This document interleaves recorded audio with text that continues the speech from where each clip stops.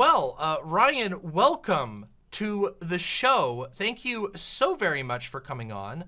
Um, uh, uh, please uh, introduce yourself, shout out your your channel, let everybody know what you're all about, because there's probably a bunch of people here who aren't familiar with you, uh, even though I'm sure some are. Sure. Yeah. Thanks for having me on. Uh. I would say I'm a commentary YouTuber. I would say I fall into like that general um, sphere. I am a leftist, so I definitely like dabble my toe in talking about like leftist topics, but I wouldn't consider myself like a leftist political creator necessarily. Okay. Um, especially recently, I've been trying to like shift back my content more towards like focusing on comedy and music and stuff like that because I feel like that's really where I shine as a creator, not as much like giving super in-depth political takes because I'm I'm honestly not like incredibly educated about like leftist theory and whatnot. But um, That's fair. A lot of people yeah. aren't. It's it's still, uh, especially I don't know, especially in the uh, English-speaking world, the leftist theory is not the is not uh, commonly taught. It's not something that people like naturally come into contact with most of the time. So that makes sense. Um, I wish awesome. it was. I wish that in history class you'd get a more uh, honest representation of leftist theory, but obviously that's not going to happen. So Me too. I feel like uh, I feel like American, at least American history classes, can't even handle like a basic basic truth about uh, about about history, about our own history, let alone like being able to introduce then- people to other like like thought like political lines of thought. Yeah. And then Donald Trump is like, "Oh, it's too far woke. You know, we need to make it even more dishonest." Yeah, we need to be yeah, the we- we only it. thing that you actually learn is uh you just every history class is just another retelling of of like George Washington chopping down the cherry tree and then being like, "Oh, mommy, I'm sorry I lied." That sort of. And thing. then the first Thanksgiving dinner where they're all hugging each other. That's, yeah, uh, exactly. And it's like, "Ooh, the yeah. turkey's great this year, isn't it?" And everybody just just does a little song. Yeah, that's the that's all you're going to get. Yeah, unfortunately. exactly. Well, I mean, I, I am very happy that uh, that uh, comrade Joe Biden uh, uh, eliminated the possibility of the Yeah. 1776 project ever ever coming around.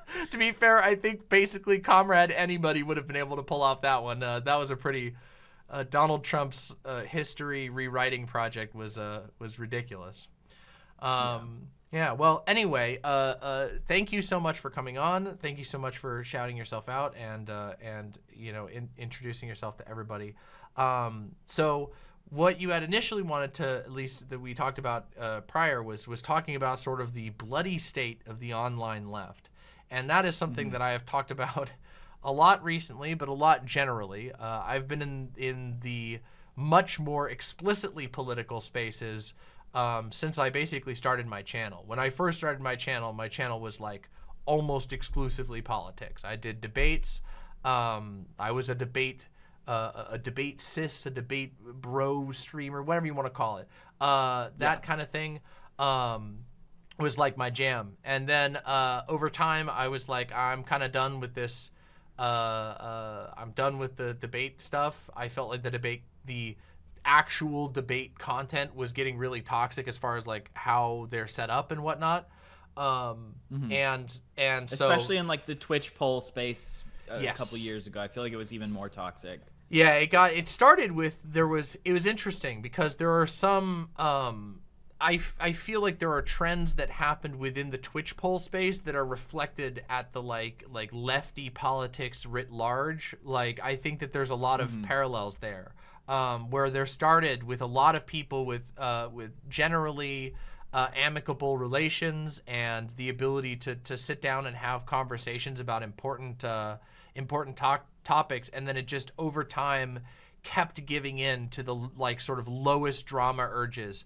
Um, not that there wasn't always some level of drama. Obviously, there was like, I mean, I even was like, you know, I was excited to, to bring spice. I would get pretty intense in the debates, although I tried to keep it to the debate and not carry it beyond and like hate people. You know, I was just like, I'm going to be intense in this debate. I'm not going to mince words. But anyway, yeah, the Twitch pol is like I have- actually gone. Like, there's nothing left of it. it even Twitch doesn't even have a politics uh, seg- section anymore, which is wild. I mean, I guess I, it might actually. I thought I'm pretty sure they rolled it into just chat, uh, just chatting, which is weird. Why, why do you why do you think that is? Was Twitch like cracking down on having like spicy conversations or things like that, or Yeah, for sure. Um, there was a lot of stuff you used to be able to talk about and do on Twitch that they've actually made like explicit rulings on. Um, like, I mean, one of them is just like, uh, like their slur policy, which seems fairly uh, like, oh, what? Like, like you can't even refer to slurs in like a like a, a analytical sense An educational. anymore. Yeah, yeah. So like, I I I would you know I couldn't do a segment talking about like the F slur or the T slur and its historical usage, even as a trans person and a gay person. Like, um, so that was one thing. And but of course, didn't Hassan get temporarily banned for saying cracker or something? Yes, that that also happened. That was um we Yeah. had a I had a funny stream when that happened. Um that was that was after I had already switched over to YouTube because I'm a YouTube streamer now. Um Mm-hmm. but but uh, uh I started on Twitch and uh, yeah, and the the other thing too was another one that started happening was this one actually was more impactful than the slur policy because obviously, you know, talking about slurs in an analytical context is pretty niche. It's not going to happen all that often, even though it kind of sucks to not be able to talk about it, frankly, to have to dance around it.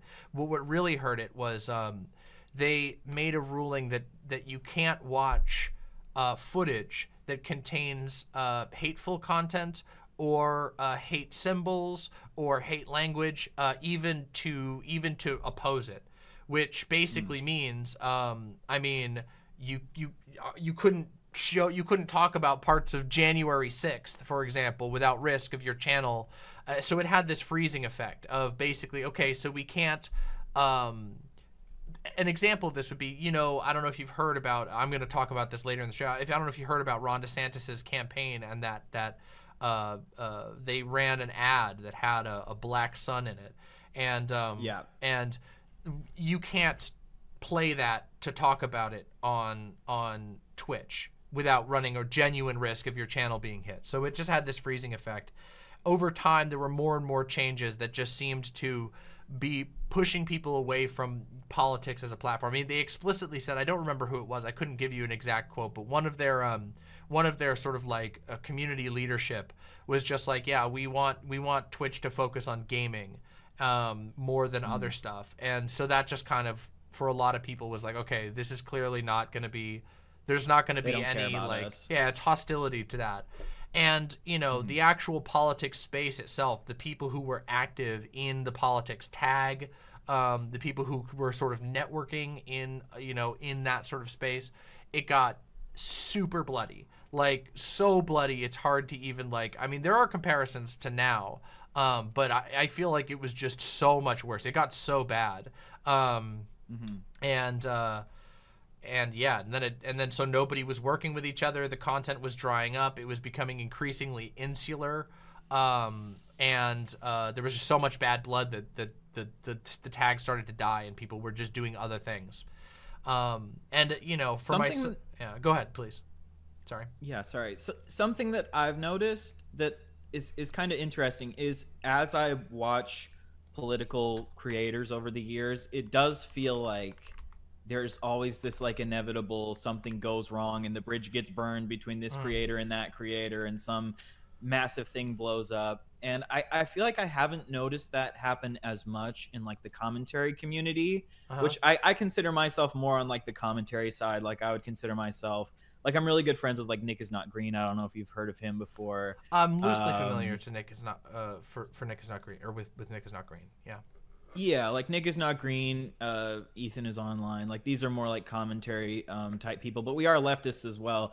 But I've just noticed that I, I just feel like um, there hasn't been as much drama and infighting. Like obviously, an occasional drama will pop up, where Yeah. you know we'll talk about oh this person had like a bad take or something. But I feel like why do you think it is that the political space is so i mean maybe it is just the nature of politics that makes it so much more rife with like people burning bridges and and and feeling like they have to attack each other.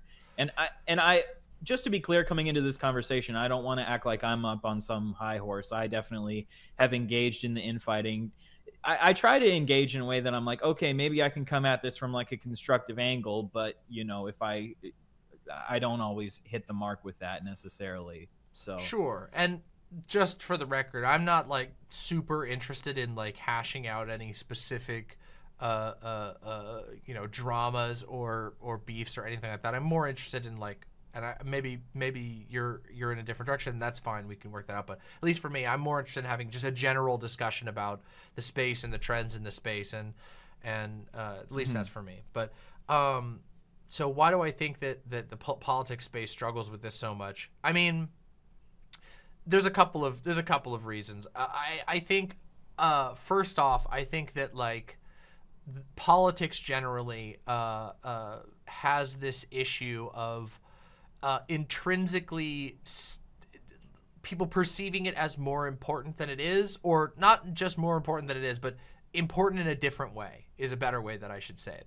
Um, people mm-hmm. think that like every single action that's taken in a political space is like immediately impacting the future of the world to a good or or bad place. And as mm-hmm. a result, this leads to like um, there's so many downstream effects of this. I mean, some people lean into that really, really hard. There are creators who um, basically sell themselves as uh, the avatar of a revolution.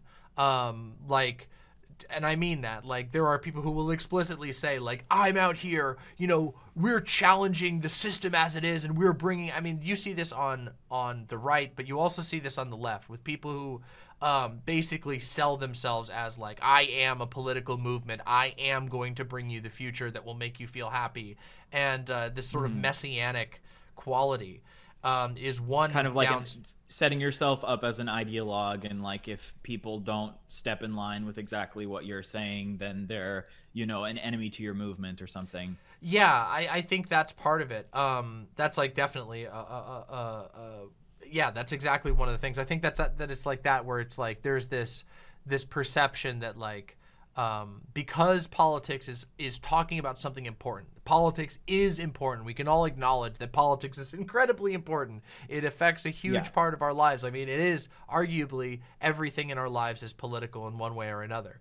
Um, and so the space has that quality, and it, it does lean, lean itself to people taking themselves as like a creator in a space as like a YouTuber or even worse, like as like a tw- a tweet tweeter or a poster, the people thinking yeah. that like no, I what I am doing is an intrinsic part of the of the of the communist future or the whatever future, the socialist future or whatever. I think um yeah, and I and, think yeah. I, th- I I think that can sometimes be a backlash to um how insufferable like apolitical people can be where they're like oh yeah. why does everything need to be so political and you're like no things are political like politics are important but then I, I agree you can go too far in the other direction where you can allow your ego to start making you feel like you know that you are the next you know karl marx or the next you know mlk or something when you're really just a you know you only have an audience of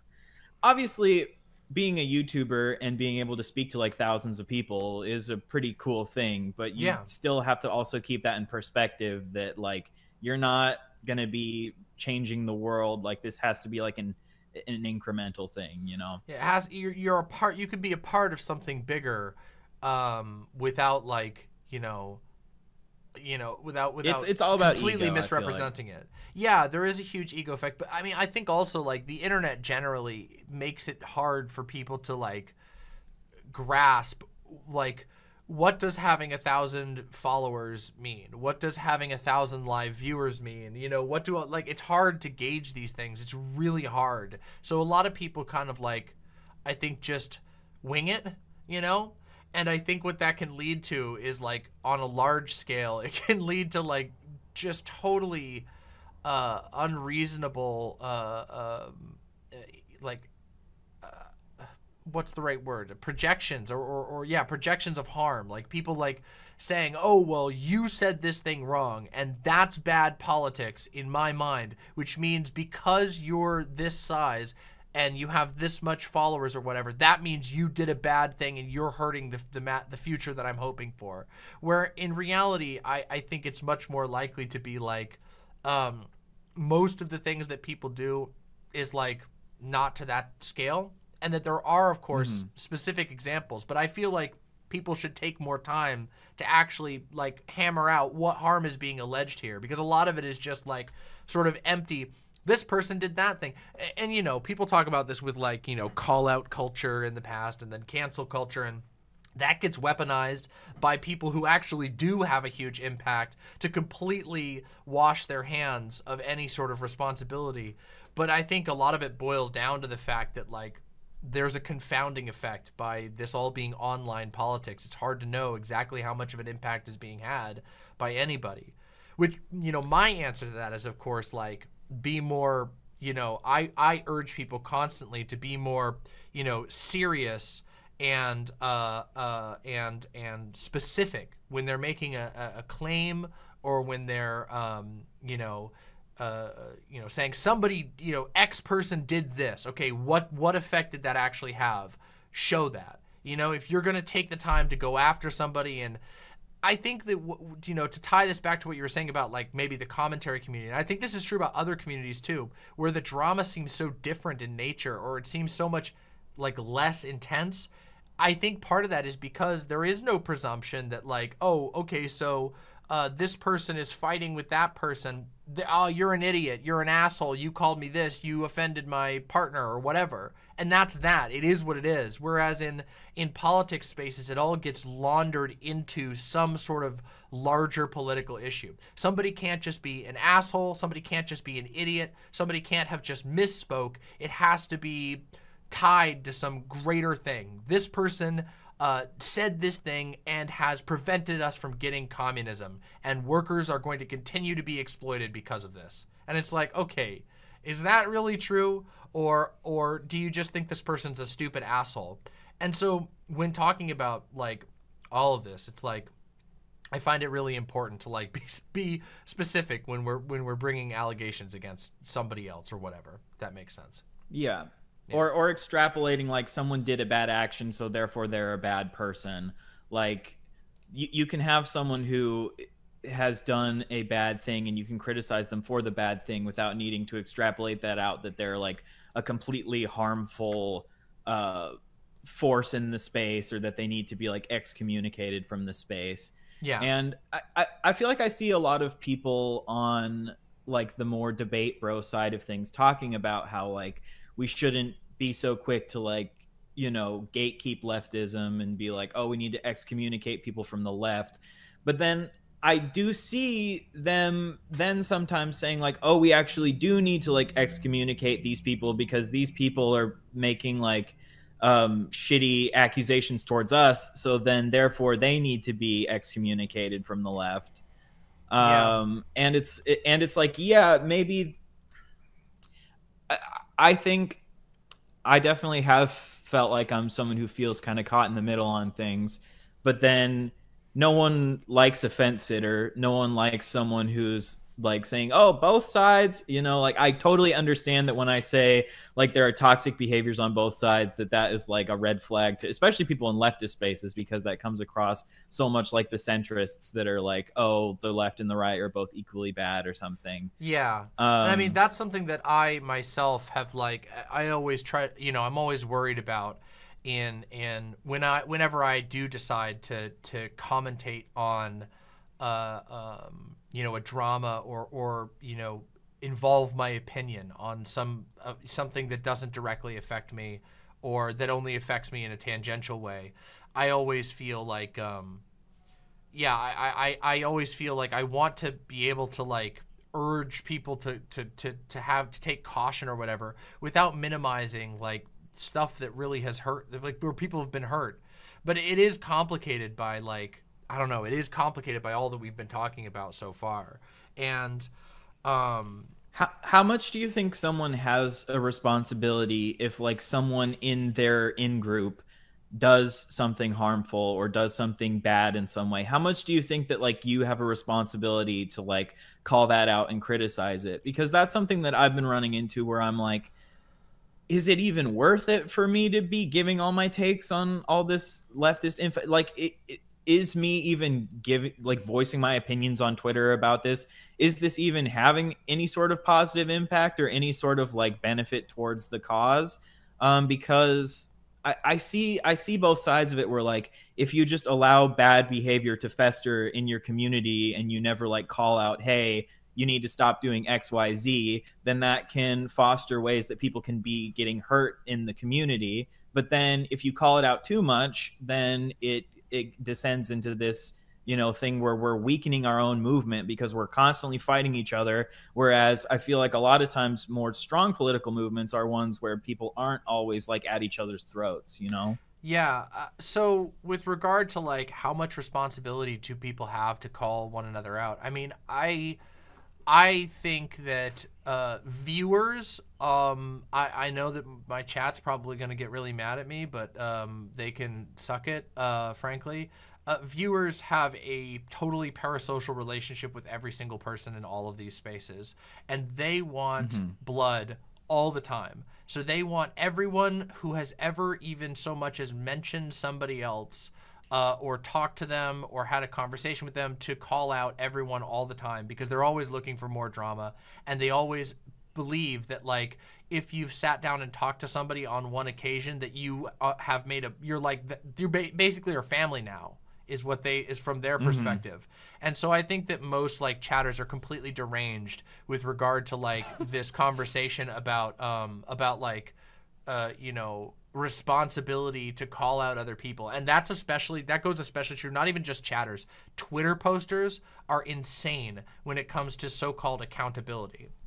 And I mean, mm-hmm. I think that like I think that the responsibility to like call out your own becomes higher like when when you're like uh when you're engaging when you engage more in the uh in like the the fight you know um i don't know like uh uh i i often you know I, like I, if if if the only thing you're ever doing all day is sitting on twitter and calling people out but you're not really doing anything uh that is actually like advancing the leftist cause you know yeah. and your entire day is just being consumed by calling people out then that might but it's like how do we even advance the leftist cause as like because that's something that i fall into where i'm like what even is my place in the world as a commentary youtuber? Like my job is to my job is to criticize people. I mean that's what being a commentary youtuber is. It's like yeah. find something bad someone does and criticize it and that's like all that i do like for a, a living. yeah. yeah. Yeah. I mean i don't know. Like i at least for the way that I talk about it, I'm always like my chat can even tell you I'm super upfront with the fact that like at most I'll call myself an edutainer. Uh, I usually call myself an entertainer. Uh, I'm pr- mm. I try to be pretty clear about that. I'm a very politically opinionated person. Um, most of my content is very political in nature.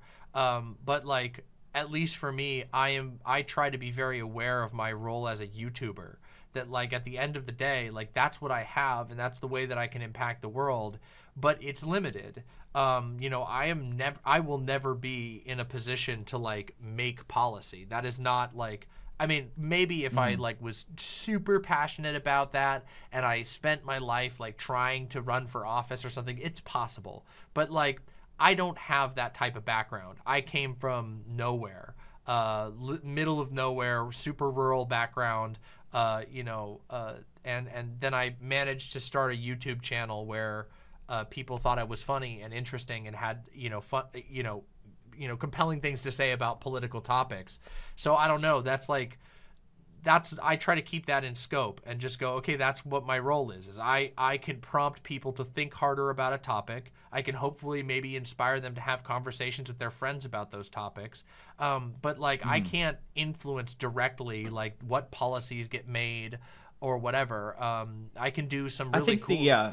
But yeah, so it's like I don't know. I think that like keeping that in scope is really important. But yeah, it's hard. It's a hard question. I think I think primarily, yeah, we're just entertainers. Our our basic job is to like sit down, talk on camera, entertain people, and then make money from that engagement. I mean, that's the main thing. Hopefully, you know, the the the benefit on top of that is that we can like in some way influence the way people think in in some way, you know, whether that's just 10 people get influenced or maybe that's a couple yeah. thousand people get influenced um, I, I, do think we have the ability to make a difference on some scale, but not on the scale that, like, yeah, you were saying that people's egos can it can get inflated to the point where they think that they're the they're the leaders of the revolution. Yeah, and I mean, I think I do think that like sometimes there can be a huge effect. Like, I mean, I don't think that any individual person in like the uh, the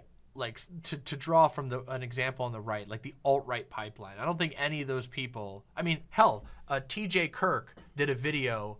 Uh, I think it was called like how I you know accidentally created the anti SJW genre and I really like mm-hmm. that video. Um, it's a video where he he talks about like what his headspace was when he was making that content, and how like at the time it was like his perception of content making was just completely different than his perception now. That it was like a, a, joke space where he could like play a character on the internet and do these things, and that he was never thinking about like what types of downstream effects that would have and you know how he's changed his perspective on that but i, I like that video because I, I think that like a lot of people i don't think that even the people who do think about that a lot can actually meaningfully predict exactly what their uh, impact is going to be you never know mm-hmm. like exactly when you're going to be a part of a trend or something that goes viral I think it's good to keep it in mind, but you can never really know that stuff.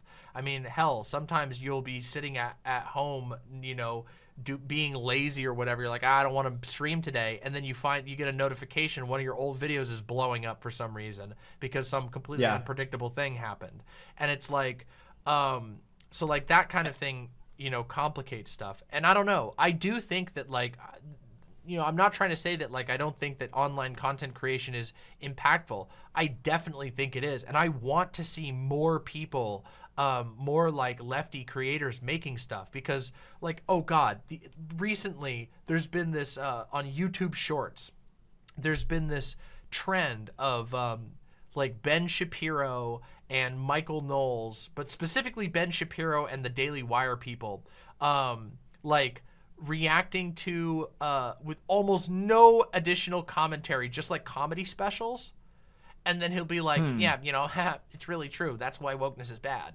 And and it'll be like a YouTube short of just like basically stolen content with like uh uh, uh you know Ben Shapiro sitting there nodding and smiling. Is that even like can, is that even really transformative? Like Yeah, I mean, good question. Uh the shorts aren't policed as much it seems, but uh but yeah. even still like like I would love it if there was, you know, if people would land on like a lefty leaning person more, you know, than instead of somebody who's going to slowly work them into a position of being like anti woke.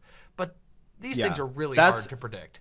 And that's some that's yeah. something that I have thought about with my channel from the get go is kind of the idea of trying to make videos that touch on, you know, kind of what is like a trending topic or like a more um, something people are talking about in the news, and then kind of like subtly like place those like leftist ideas in there yeah. um, with the hopes that you can bring kind of a wider audience to think about leftist ideas without like because if you just put out a like uh, a blatantly leftist video, that's obviously going to appeal to leftist people. But sometimes I think it's good to make videos that might appeal more towards the center so that yeah. you can like subtly implant those ideas. Um, and I think that I think right wing people understand this a lot better than left wing people a lot of times. I think that Ben Shapiro, um, the left is way better at like making movies and like making good entertainment than the right, but I feel like the yeah. right is sometimes better at understanding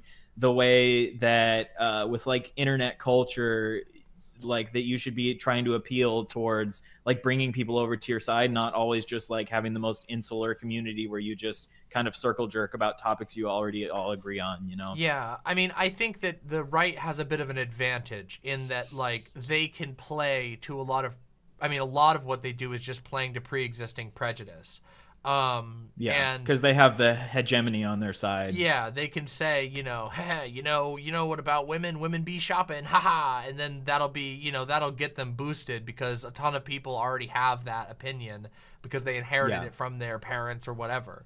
Um, so I do think there's an advantage on the right on that, but I, I do, I, I do think that like there is great value. I mean one of the things that I've talked about, like in in the past, in these conversations, like I mean, the the the, the argument uh, about about the value of debate has been one that has gone back and forth in these spaces since I've been in them.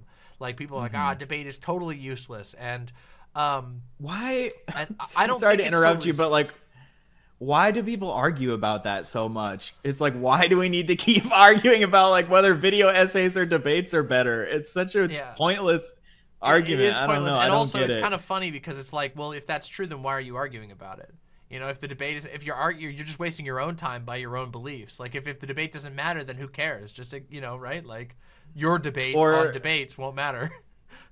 Yeah, or that like video essays can sometimes basically be just like a one-way debate where the, your opponent can't respond. You know, yeah, I, yeah. that- I mean, it is functionally that, and and the thing is, like, I I think that both of these things can be useful in a similar way.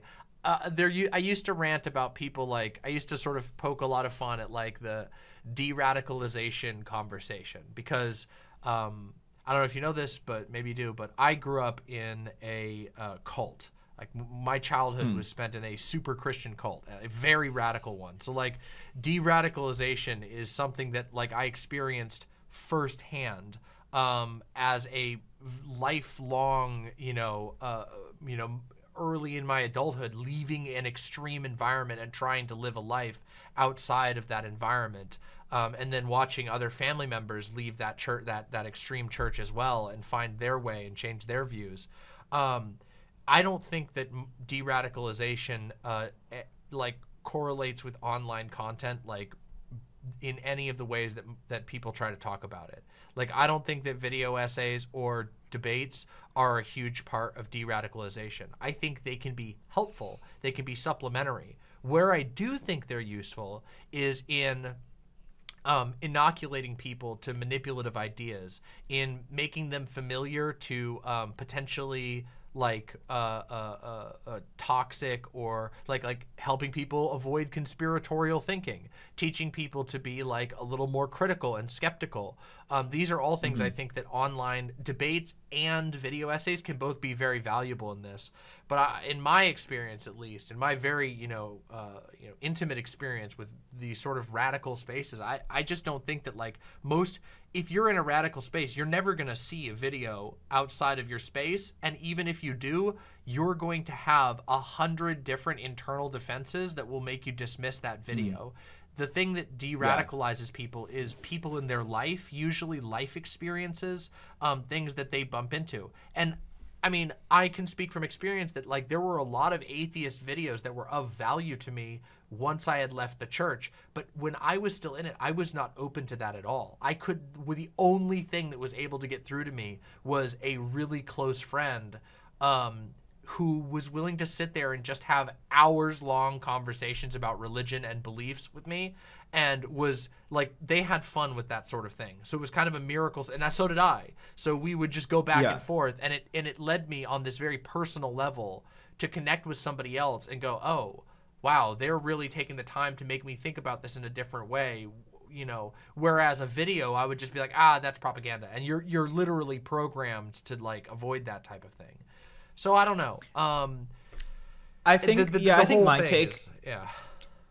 I think my take on that is I think online content can help with de-radicalization, but I totally agree with you that uh, it's very rare that someone's going to get like fully de-radicalized without some sort of like real life human person Yeah. in their life that is helping them. Because I was raised in a uh, in a conservative Christian household. I wasn't in like a cult, um, and I feel like I I did have parents that encouraged um, critical thinking, and they weren't like you know terrible people. yeah Uh, so I think that helped me along my my journey of that. And my mom has actually recently, I think she was a conservative, but she's recently like a pretty liberal person. Mhm. Um, so it's been cool seeing her go down sort of a de-radicalization path as well, or not not radical because she's never been radical, but at Yeah. least a like leftward movement. But yeah um, I I have a bit of a different experience. I think that when I was younger, um, like yeah, definitely when I was like, uh, I'd say like early high school, if I would see like an atheist video or a video that had like more left wing ideas, I'd be much more dismissive over it. But I think it was just like a gradual process that the more and more I looked into these things and watched the videos, I just slowly warmed up to the ideas, and then it's been kind of a gradual process from there for me. Yeah. You know? I do think that like for people who aren't like super radicalized, that like the media can have more of an impact in changing their minds which is like, yeah, that is true. I, ne- I never I never was like a full on radicalized. I was just Yeah. like your average conservative teenager, basically. and I and, and that's one of the things I do think that like all of this type of content, debate and and video essays and all of these things where you're making a, a, a you're putting forward a specific argument for a topic or uh, you know something that you believe in or whatever. I think those things are like uh, I, I do think they're valuable in that front. I I uh, I, I I you know I, I I guess I was talking about the de-radicalization thing just because I, I hear it as something that people bring up all the time and it's one of those things where I'm like I don't know I don't know if if these things function as like uh, de-radicalizers like I don't know but but I do think that they can they can impact people and get people to think about things differently I mean that's one of the reasons why I that's part of one of the reasons why I I uh, do content at all is because I want people to think you know differently about subjects. I recently did a video about environmentalism, trying to get people to think about environmentalism differently, um, and to actually think about environmentalism instead of just sort of like, uh, you know, climate change as a as like a political buzzword, like getting people to to, to engage Think with like more well, deeply. you know why why do we care so much? You know what is the thing? And like how do we adopt a mindset that like will help us and that that includes combating climate change as part of a greater uh, set of beliefs and, and and values? So i do think that people's minds can be changed. I know my mind has been changed by videos.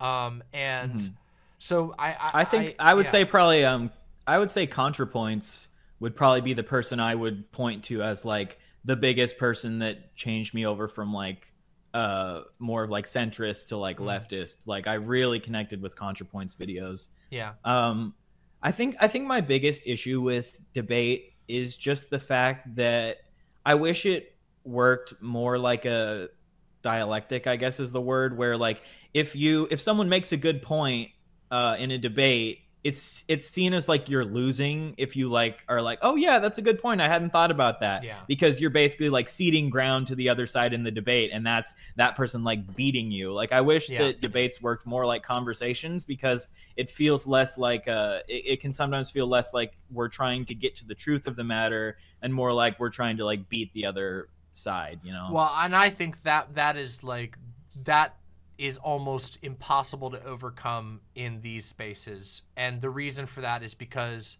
uh, it's personalities clashing. It is it is brands clashing. It is people who are representing their channel and their community.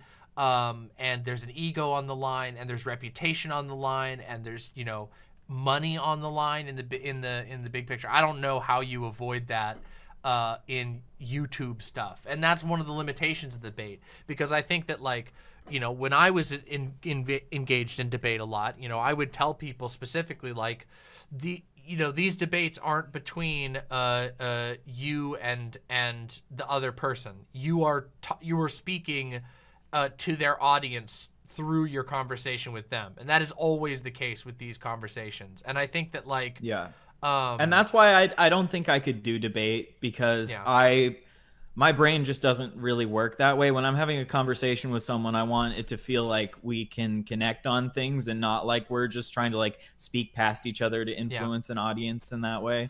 That's and why I- I I, definitely prefer conversations, like- over debates. yeah I, I think conversations like this can have a a a, a connective effect and they do diffuse the the uh, ego a bit um, because there's no longer like a community versus community brand versus brand thing. Um, i just i don't know that it I, I know that some people will point to that as like you know making the debate itself completely valueless. I don't think it does. I just think that people have to engage I don't think it. does either. Yeah, it has to be engaged I- with a different paradigm. Like, I mean, I I know I, have been I know I've been critical, but I do think debate can serve a purpose of um like if someone makes a really good there have been times where I watch debates and someone makes a really good point I hadn't thought of and then that really influences my way of thinking moving forward. yeah, Uh I, it's just not something that I would be good at because I, I don't my brain doesn't function very well in that way. yeah, and it's hard too because uh, a lot of um, you know when you're engaging in some of these higher stakes debates, uh, sometimes reaching the audience is very difficult because uh, you know the moment the debate ends, that that person is going to immediately start reframing things for their audience. and mm-hmm. it's it's hard to predict. You know, you, you could have a, a killer debate showing and uh, and and really hit all of the good points but the other person is just better at selling it to their audience afterwards. So mm-hmm. they they in Good the in twi- the after talk twisting you know, and manipulating. Yeah, it. they just say, yeah, well, you know, this is a this is that and this is the other thing. I mean, I I, I feel like certain um like certain certain people uh, are are so good at. I mean, they're so they've primed their audience such to be a demagogue. An example of this is like how a lot of um a lot of uh, uh, like scientist types, like you know the Bill Nyes and the Richard Dawkins and all those during the atheism time, they wouldn't argue with certain Christians. Um, like Ken Ham was a famous example where just nobody would engage with that guy, and part of the reason is because like his audience was so primed um, that there was no way mm. that they were ever going to engage, no matter how good you did. Uh, he would immediately turn it, spin it into a sermon afterwards about how ah, this is proof that like God has you know sent these people from Satan to try and test us, yeah. and it, it does more harm to even engage them. So you know, there's this whole science to like there's this whole I, wouldn't even say science. There's this there's like a there's an arcane element to deciding what debates are worth having. And sometimes no matter how good you do, even if you're the best debater on the planet, that person might just be able to reframe the narrative. I mean, God knows. I mean, I've I've had some debates where I was strong, but um, because in the following week somebody took a clip out of context or whatever uh, and was able to spin a narrative off that, that it didn't even matter how good I did or how good my argument was or how prepared I was. Um, or there can, or there's yeah.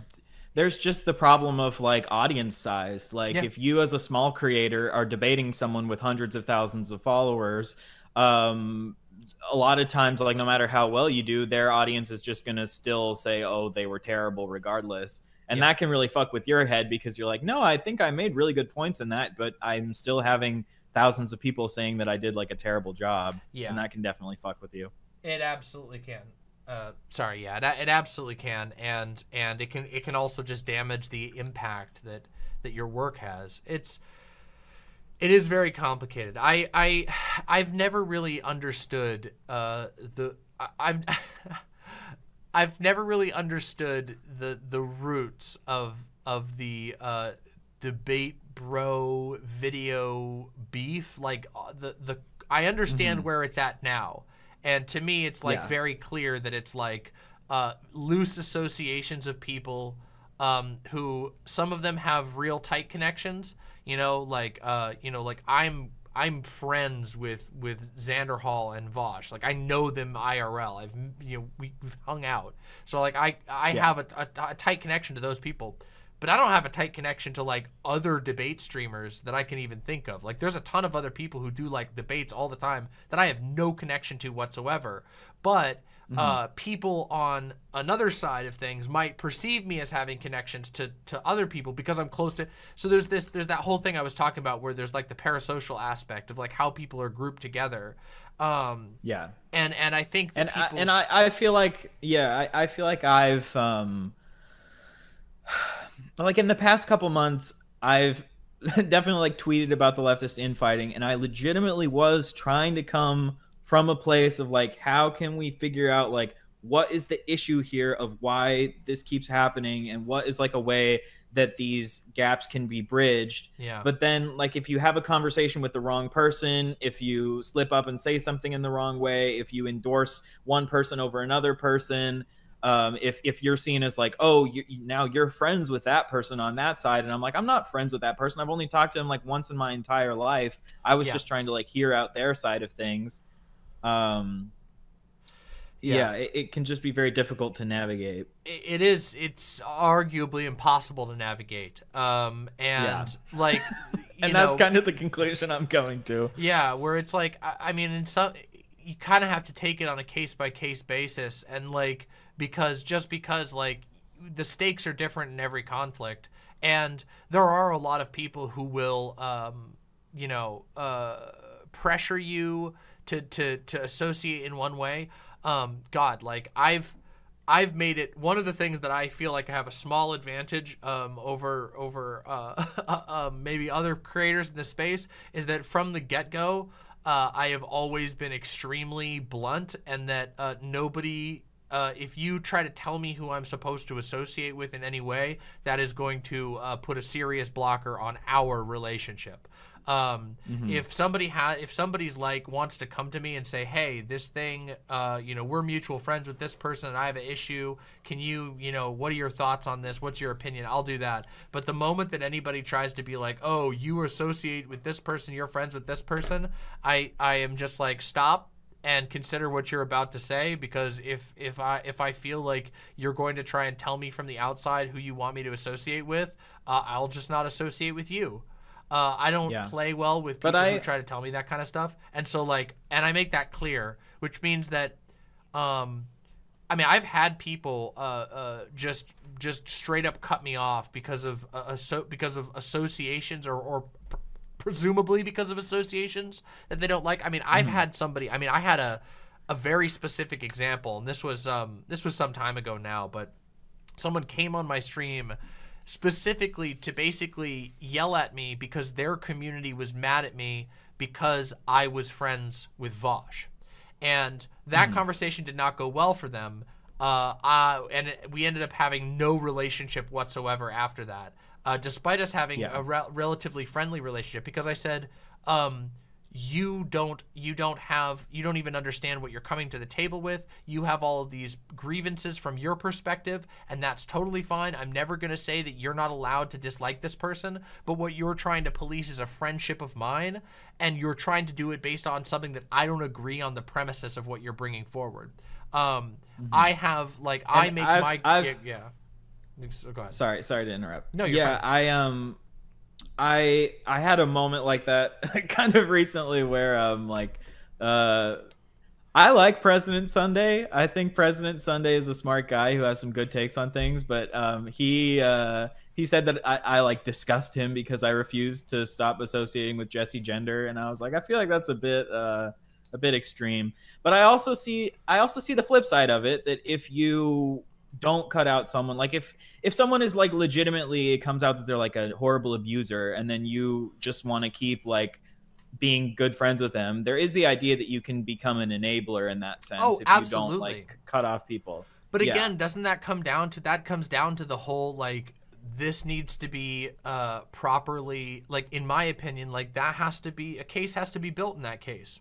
Um I mean um like I don't exactly have like I mean with, with multiple people. I have a history of being very blunt with with even people that I consider my friends. I will tell them if I think that they are fucking up or if I disagree with their take. Uh, you know, I'm a very very opinionated uh, and I'm open about that. But I mean also like a lot of times when people come to the table wanting you to disassociate with someone, especially this is especially true for like the the uh, the the the horde of babbling chatter people and or Twitter people, um, they don't ever have anything of substance to bring to you. Um, they have a bunch of grievances that they've spent a lot of time on in their minds uh, that are based on premises you might not even agree on. Um, I mean, there's so much stuff where I'm just like, I don't agree with your characterization of those events. I'm sorry. We're, uh, you, you know, if if you were somebody who I was, you know, if I was, if I, if it was somebody that I knew and they came to me and said, "Here's the reasons why I think this person is dangerous" or whatever, uh, and I could go, okay, I don't really agree with what you're saying there, but you can't do that to a, a crowd of people on the internet who are all shouting completely different things and who have completely different justifications for why they don't want you to associate with somebody. Um, it's impossible. Like, uh, and and also like some people, you're just not gonna be like I'm not gonna be open. I can't make myself open to every single person on the internet, you know. So it's just like, Yeah. um, but uh, but yeah, like I I think that there are times where like there uh, like a line is crossed and it's like, hey, like this is uh this is not cool or whatever. Um, but that's a but that's that's a judgment call, and most of the most of the stuff. Let's be hundred percent real. Like ninety percent of the stuff that people get mad on on the internet do not reach the level of like serious harm being done. Um, certain things I think like uh like really severe allegations, like frivolous allegations being levied against someone, um, are like I think that a case can be made for that, but people don't, don't usually bother. It's 90% uh, rumor mill, gossip. Uh, this is the reason why. Uh, uh, okay, well, if you don't agree on the premises, then that person, you, I don't know. There's too much of an expectation for people to like disown other people uh, uh, for. I ran into this issue even with uh, a conversation I had recently with uh, a, a creator named Soul Bunny, where I sat down for a conversation and I had my critiques, and we even got in a bit of an argument at times. But a lot of people in chat had this whole like history uh, uh, that was would have been impossible. Here are all the know. tweets that Soul Bunny has Exactly. made, and, And- yeah, even when I saw some of those tweets, I'm like, okay, yeah, some of that is like shit that I don't think I would like. I think that's really shitty, and I think that this was like, I mean, there was even an example of like one one part of that conversation where uh where just like I was just told a lie to my face, and I discovered that later. But how the fuck would I have ever been able to know that previous to that conversation when these are things that are happening in the replies of tweets and whatnot? You can't, and and then people were mad at me for ever even having the conversation at all because I didn't know the deepest lore of every interaction. So even in a situation where, uh, you know, uh, I had a lot of opinions in that situation, and I do think there were things that went wrong there. The expectation that's being put on me for having a conversation is, in my opinion, uh, uh, out of uh, totally- Unattainable. totally unreasonable. It's completely unreasonable, and people basically uh, treat everything like it's a a um, a mortal uh, sin that has been a, like like like again it's that thing it's you've now you have betrayed the future we're never going to get communism now because you didn't know about these four tweets that happened in the in six, six, 16 replies down in a now deleted Yeah. thread and it's like okay you might be right that whatever was said in there is annoying and shitty and bad, but you need to keep it in scope and you need to keep the harm in mind. And that's one thing that I continually run into in like lefty spaces. Um, I mean, I, hell, I even yelled about that. Uh, there was a video that was made about Keffals recently. I got very, very mad about that video because I felt like um, the entire thing was just built off of. Uh, uh, invocations of of of horrible things that were done. It was just like Keffals did this, and no evidence is actually provided of any me- that even shows what is being alleged. And I mean, yeah. like uh, like when he he showed the wall of the noodles tweets and said some of the most egregious bigotries to ever reach. I'm just like for space. real. yeah, that, you know exactly And what I'm talking I- about. The I foreign fe- man video. I'm, I'm yeah, totally, the foreign man. Yeah, I'm I'm totally some of the most with, like, egregious bigotries of all time. Uh, I feel like harm at scale was another example. Just because we're, Yeah. I, am per, per, perfectly comfortable to be to be 100% specific with this video. When you're claiming that somebody did harm at scale, you gotta evidence that. And if you don't, Yeah. then you're gonna get made fun of. And I am never gonna say anything bad about people making fun of you for making a claim off off of the ass. But again, it's just like and I I yeah. and I also think that that can uh, you can kill a potential like valid conversation that can happen when you blow it way out of proportion. Then it's like okay, well then you know we've missed out on some of the like we could have had a nuanced conversation about this, but you've said that this is like one of the most egregious bigotries of all time, and it's like okay, well now how are we going to actually like talk about this? Because I, I think that the way that Keffals keeps like trolling based on the noodles thing, I feel like I wish that she would stop like antagonizing with that. But on but Sure. you know people keep antagonizing her as well about the noodles thing. Um, Yeah, but I I, feel like that. I feel. I feel like that would be the criticism. Is like you don't need to keep antagonizing the noodles thing over and over. It wouldn't be like this is the most egregious bigotry to ever hit the leftist. I said Sphere. I'm so fucking tired of Noodles jokes. I don't ever want to hear Yeah. fucking Noodles jokes again because it's not funny to me.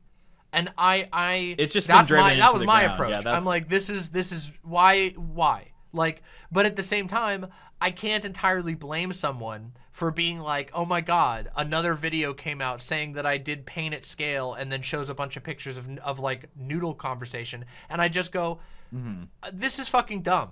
You know, like how stupid can you be? Um, but but I don't know. Like, so again, it most of it to me just comes off as people peddling really stupid and and minor things as way bigger than they are and not being able to actually like sit down and engage in a, in a in a back and forth and say I think you're an idiot because you said this. Well I think you're an idiot because of this and then call it good you know? Fucking have it out and whatever. Instead it becomes like uh you know this person is is is filling our spaces with X thing when there are people who do that by the way. I 100% agree that like there are examples of people doing really harmful shit. We have had mm-hmm. predators infiltrate uh, leftist spaces in the past. Uh, and and I've been witness to that. I've been witness to them being ousted from the space almost unilaterally because that evidence came to light. And I think that we should reserve that energy for cases where the evidence is good. That but mm-hmm. I just don't know. I don't know how. I don't know how to convince uh, people to to just like take a step or two or maybe five back, uh, and maybe dial down the intensity just that much. When at the end yeah. of the day, one of the big problems is that uh, uh in in a hyper spectacle space uh, of YouTube generally, anything big sells. You you know uh, a video that says I have a problem with you is not going to get as many clicks as they fucked my cat. You know what I mean? Like mm-hmm. you, you, you, it's yeah. just like uh, it's so it's this problem, and I'm like, I want people to do better, and I want people to see how it like negatively impacts the space. But in order for that to happen, I feel like there has to be like they ha- they have to like set aside this big profit incentive that it, yeah. it's like because I definitely I see from their I, I come from a bit of a privileged perspective where like uh, my career is not dependent on like making money off of talking about leftist infighting. Yeah. Like I the videos that I make, I just talk about like Colleen Ballinger or whatever is like the latest, you know, yeah. thing. Um, kind of choose people to talk about. But I totally understand like if you're in the position where you're like, okay, I could make a video talking about, uh, uh um, you know, like direct action and get 100 views, or I could make yeah. a video um, attacking X leftist creator and get 10,000 views. Like, I'm obviously going to choose. And I feel like that is, I mean, it's a symptom of capitalism. I feel like there's like a big capitalist incentive that is, uh, ironically, like, uh, you know, can cause poisoning within the leftist spaces, you know? Oh yeah, no, absolutely. Like I think that that like monetary incentive um excuse me, that monetary incentive affects so much of what's going on in these spaces. I just wish people would realize that it's over peanuts. You know, that people mm-hmm. like that you're really not making that much more by constantly milking drama and you're not actually and it doesn't last. Um that's one of the things that uh that like um that I've learned a ton from I've I'm still in this space after three years of streaming and being the subject, uh, we'll just say of controversy. To be fair to mm-hmm. everyone involved, uh, you've been uh, very shit on multiple times. Yeah, for sure. Uh, there have been some there have been some ridiculous things levied against me, and I'm still here and I'm still making stuff. And uh, I've been I've seen communities blow up around me. I've seen so many content creators come and go. I've seen so many people who felt like it was like uh, they needed to make the drama content to get the clicks, and it didn't actually do anything to save their channel because it doesn't last. It doesn't stick around forever. Uh, people stop getting mad about it. They stop caring about it. They get burnt out on being mad all the time. Um, they're not. They don't become attached to you as a creator and their or your channel uh, for what it has to offer. They're just there for the drama. And I wish more people would realize this. And maybe I'm banging this drum too much, but like I want people to like recognize that like there's nothing wrong with having a legitimate grievance with somebody. There's nothing wrong with uh you know calling out somebody who's behaving egregiously in a space when they're doing that.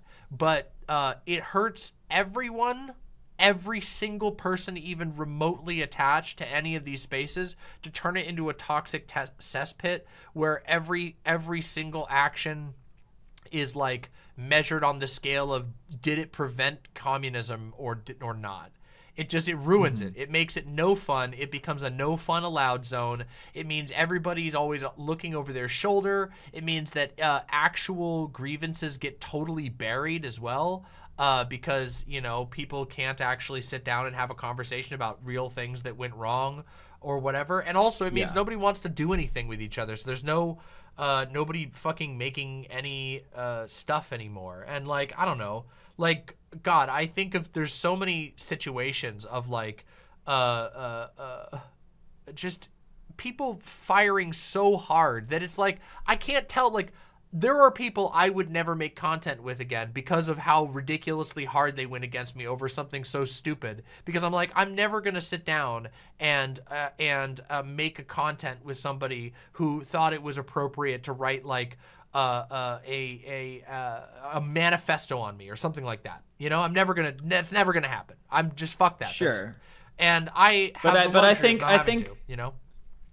I think people can overestimate the harm of like someone's actions, but then they can also sometimes on the other side overestimate the harm of like the people calling out the actions in like an imprecise true, way. True. Yeah, yeah. I, think that's And- true as and- well.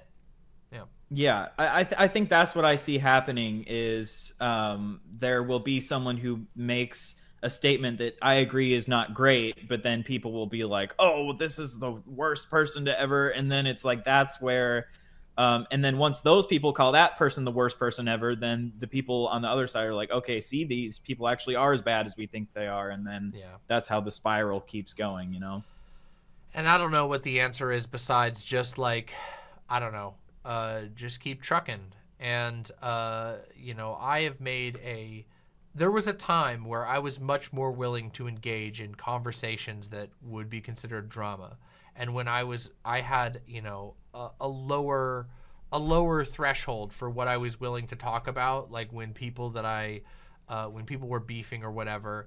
Uh, and I've changed my approach to that a lot over the years. And uh, I tend to, if I touch drama, uh, I, I tend to approach it with a very specific goal in mind, and uh, and then call it good.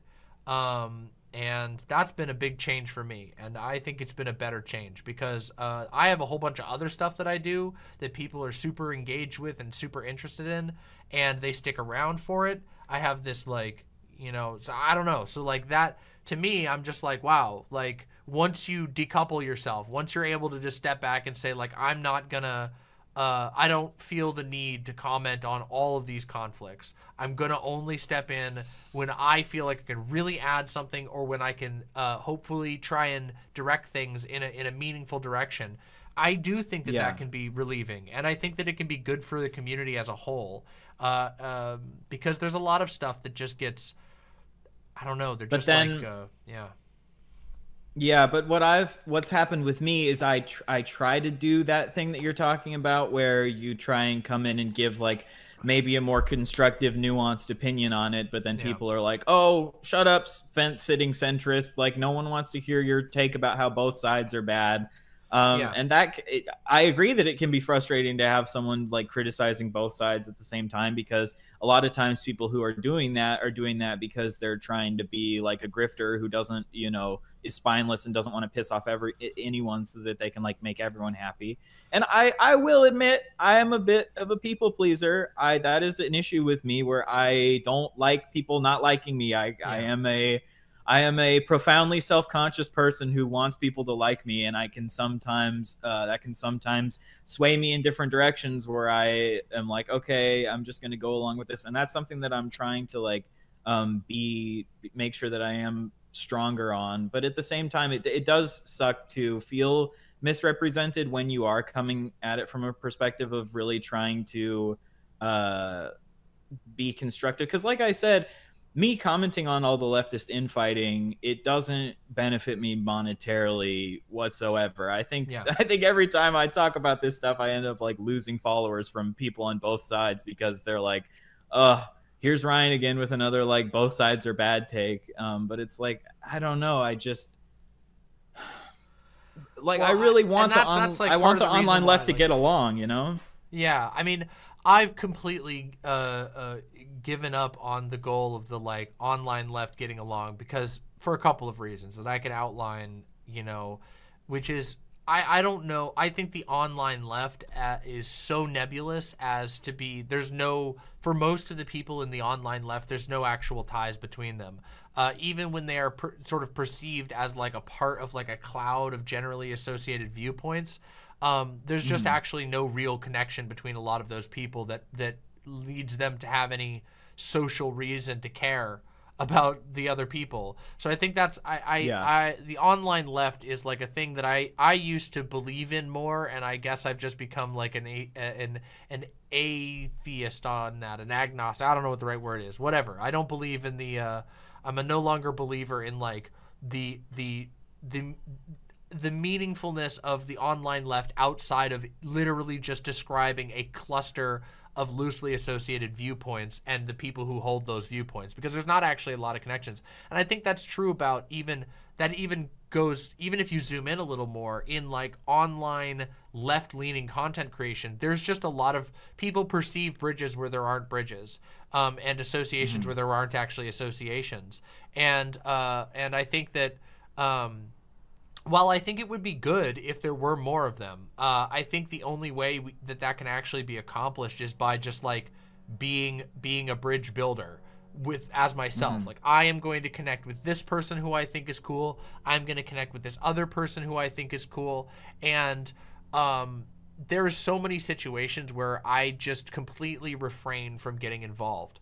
Um, there are Yeah. ones where I got involved in one way and I uh, looked look back on it and go, I don't know that that my involvement here was even worth it, or or that I even Yeah. really helped with anything. And one of the reasons for that is because like a lot of times uh, people have uh, like legitimate reasons for being super mad at one another and even if they like overstate it to some degree there's no real way to tell somebody that without like minimizing their pain that's a really hard Yeah. bridge to cross so there's a lot of times where i will just be like um i i i i, I will just, Just kind of step back and be like, I'll let you guys hash it yeah out. Yeah, this is your Yeah. this is your problem and uh, unless it directly involves me i got other stuff to talk about and like i Mm-hmm. That's where I, think I'm at at this point, honestly. yeah and I, I think it's a i think it's a totally valid approach because like again like um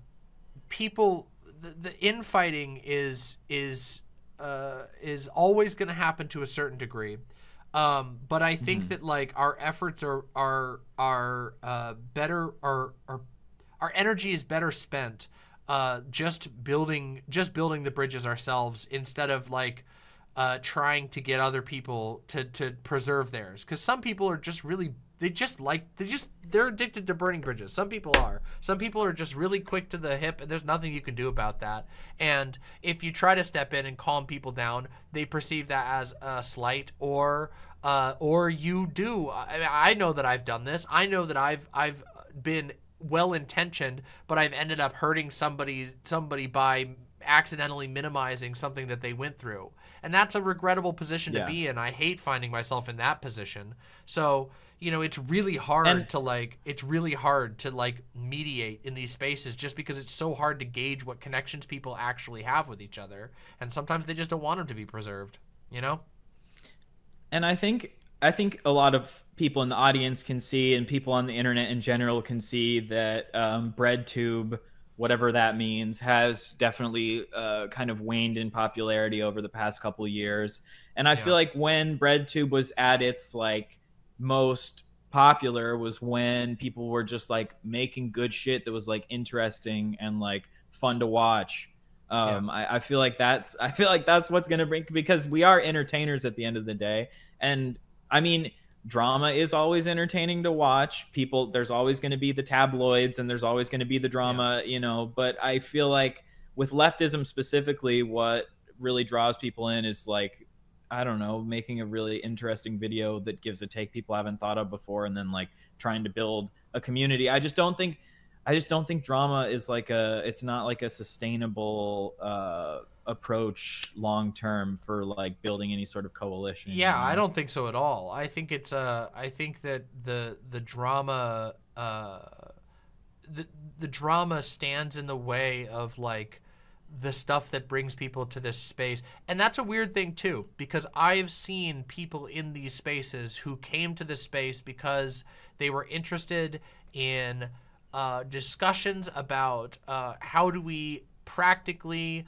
uh, address issues with capitalism? How do we think about like ways to better uh, ways to promote union membership and all these topics that brought them to the space and them slowly getting feeling personally involved in this drama until they become a drama Mm-hmm. consumer and they're no longer even there for the stuff that they were there for in the first place which is unfortunate and I I can feel that happening to me when I'm on Twitter. I can feel like my brain rotting. I can like feel myself turning into like no, I need to if if I give one more take and I think that can it can be an ego thing of like no, if I just reply to one more tweet, I'm going to give the perfect take and everyone will finally see that like I was right all along, but it's like no, that's never going to happen because you have these groups of people who have been like like you said, they have their ideologue that they're looking up to and they, it's very unlikely that they're going to be like oh yeah that's an interesting perspective that i haven't heard before.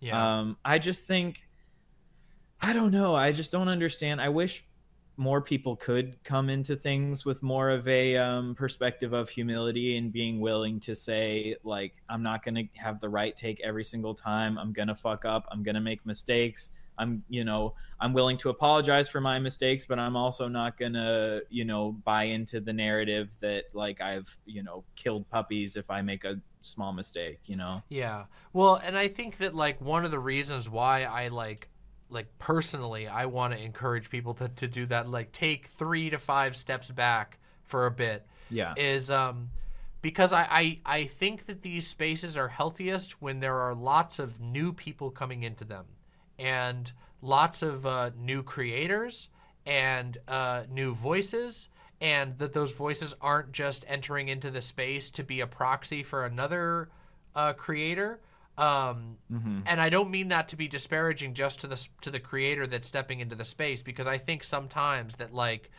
uh, I mean I talked about this like um, in a in the recent drama that I, I did step into uh, which a little bit which was you know I said that I worry that sometimes there are people who are established creators who have such a grudge against someone else that they'll take a, a small creator that's like you know talks on the issue and they'll boost that one thing and and and it gives this incentive of like oh yeah okay so what i gotta do it creates like a whole little army of people who go okay well if i make the next video that's shitting on the creator that they don't like then i'll get boosted just like this one. And that's like the worst Yeah. thing you want to create because that just makes stagnation.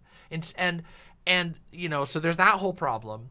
And then there's also this other aspect of like um if everything is if if so much of the content in a space is centered around uh uh like you know uh, knives to the throat, you know, knives out. Uh, we're we're we're fighting for control of the space. People burn the fuck out, and the people who burn out the most are the people who are taking the most risks and are getting the least back, aka the newcomers to the space. The people who aren't making all the money yet, the people who don't necessarily have it sustainable yet. Why the fuck are they gonna ever sit down and make a and take all the effort it takes to make a video or to stream if all that is gonna end up happening is that they're gonna get sort of like lifted up as a pawn to be used in a bigger struggle?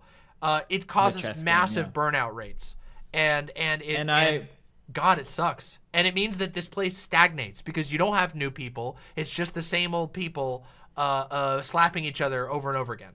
And And I think this is yeah, it all does go back to capitalism where like it is it's a lot scarier as a small creator who like wants to like have their they want to be able to make enough money to like pay the bills. Oh, yeah. And like it's a lot easier to say okay, well, the easiest thing for me to do is to like be the an orbiter of this creator because they have a big massive built-in audience. They can give me some of their audience and that'll help me grow. It's a lot like uh scarier to say i'm just gonna try to forge my own path and be like my own thing. And so i don't even necessarily fault people that start like i feel like i'm in a pretty lucky position that i feel like i am not really an orbiter of anyone and that i kind, Yeah. kind of can stand on my own. Like i have friendships but i i um I feel like that would feel like such a um such a it put you in such like a trapped place where you feel like my entire identity is defined by the person I'm orbiting. And then if the person you're orbiting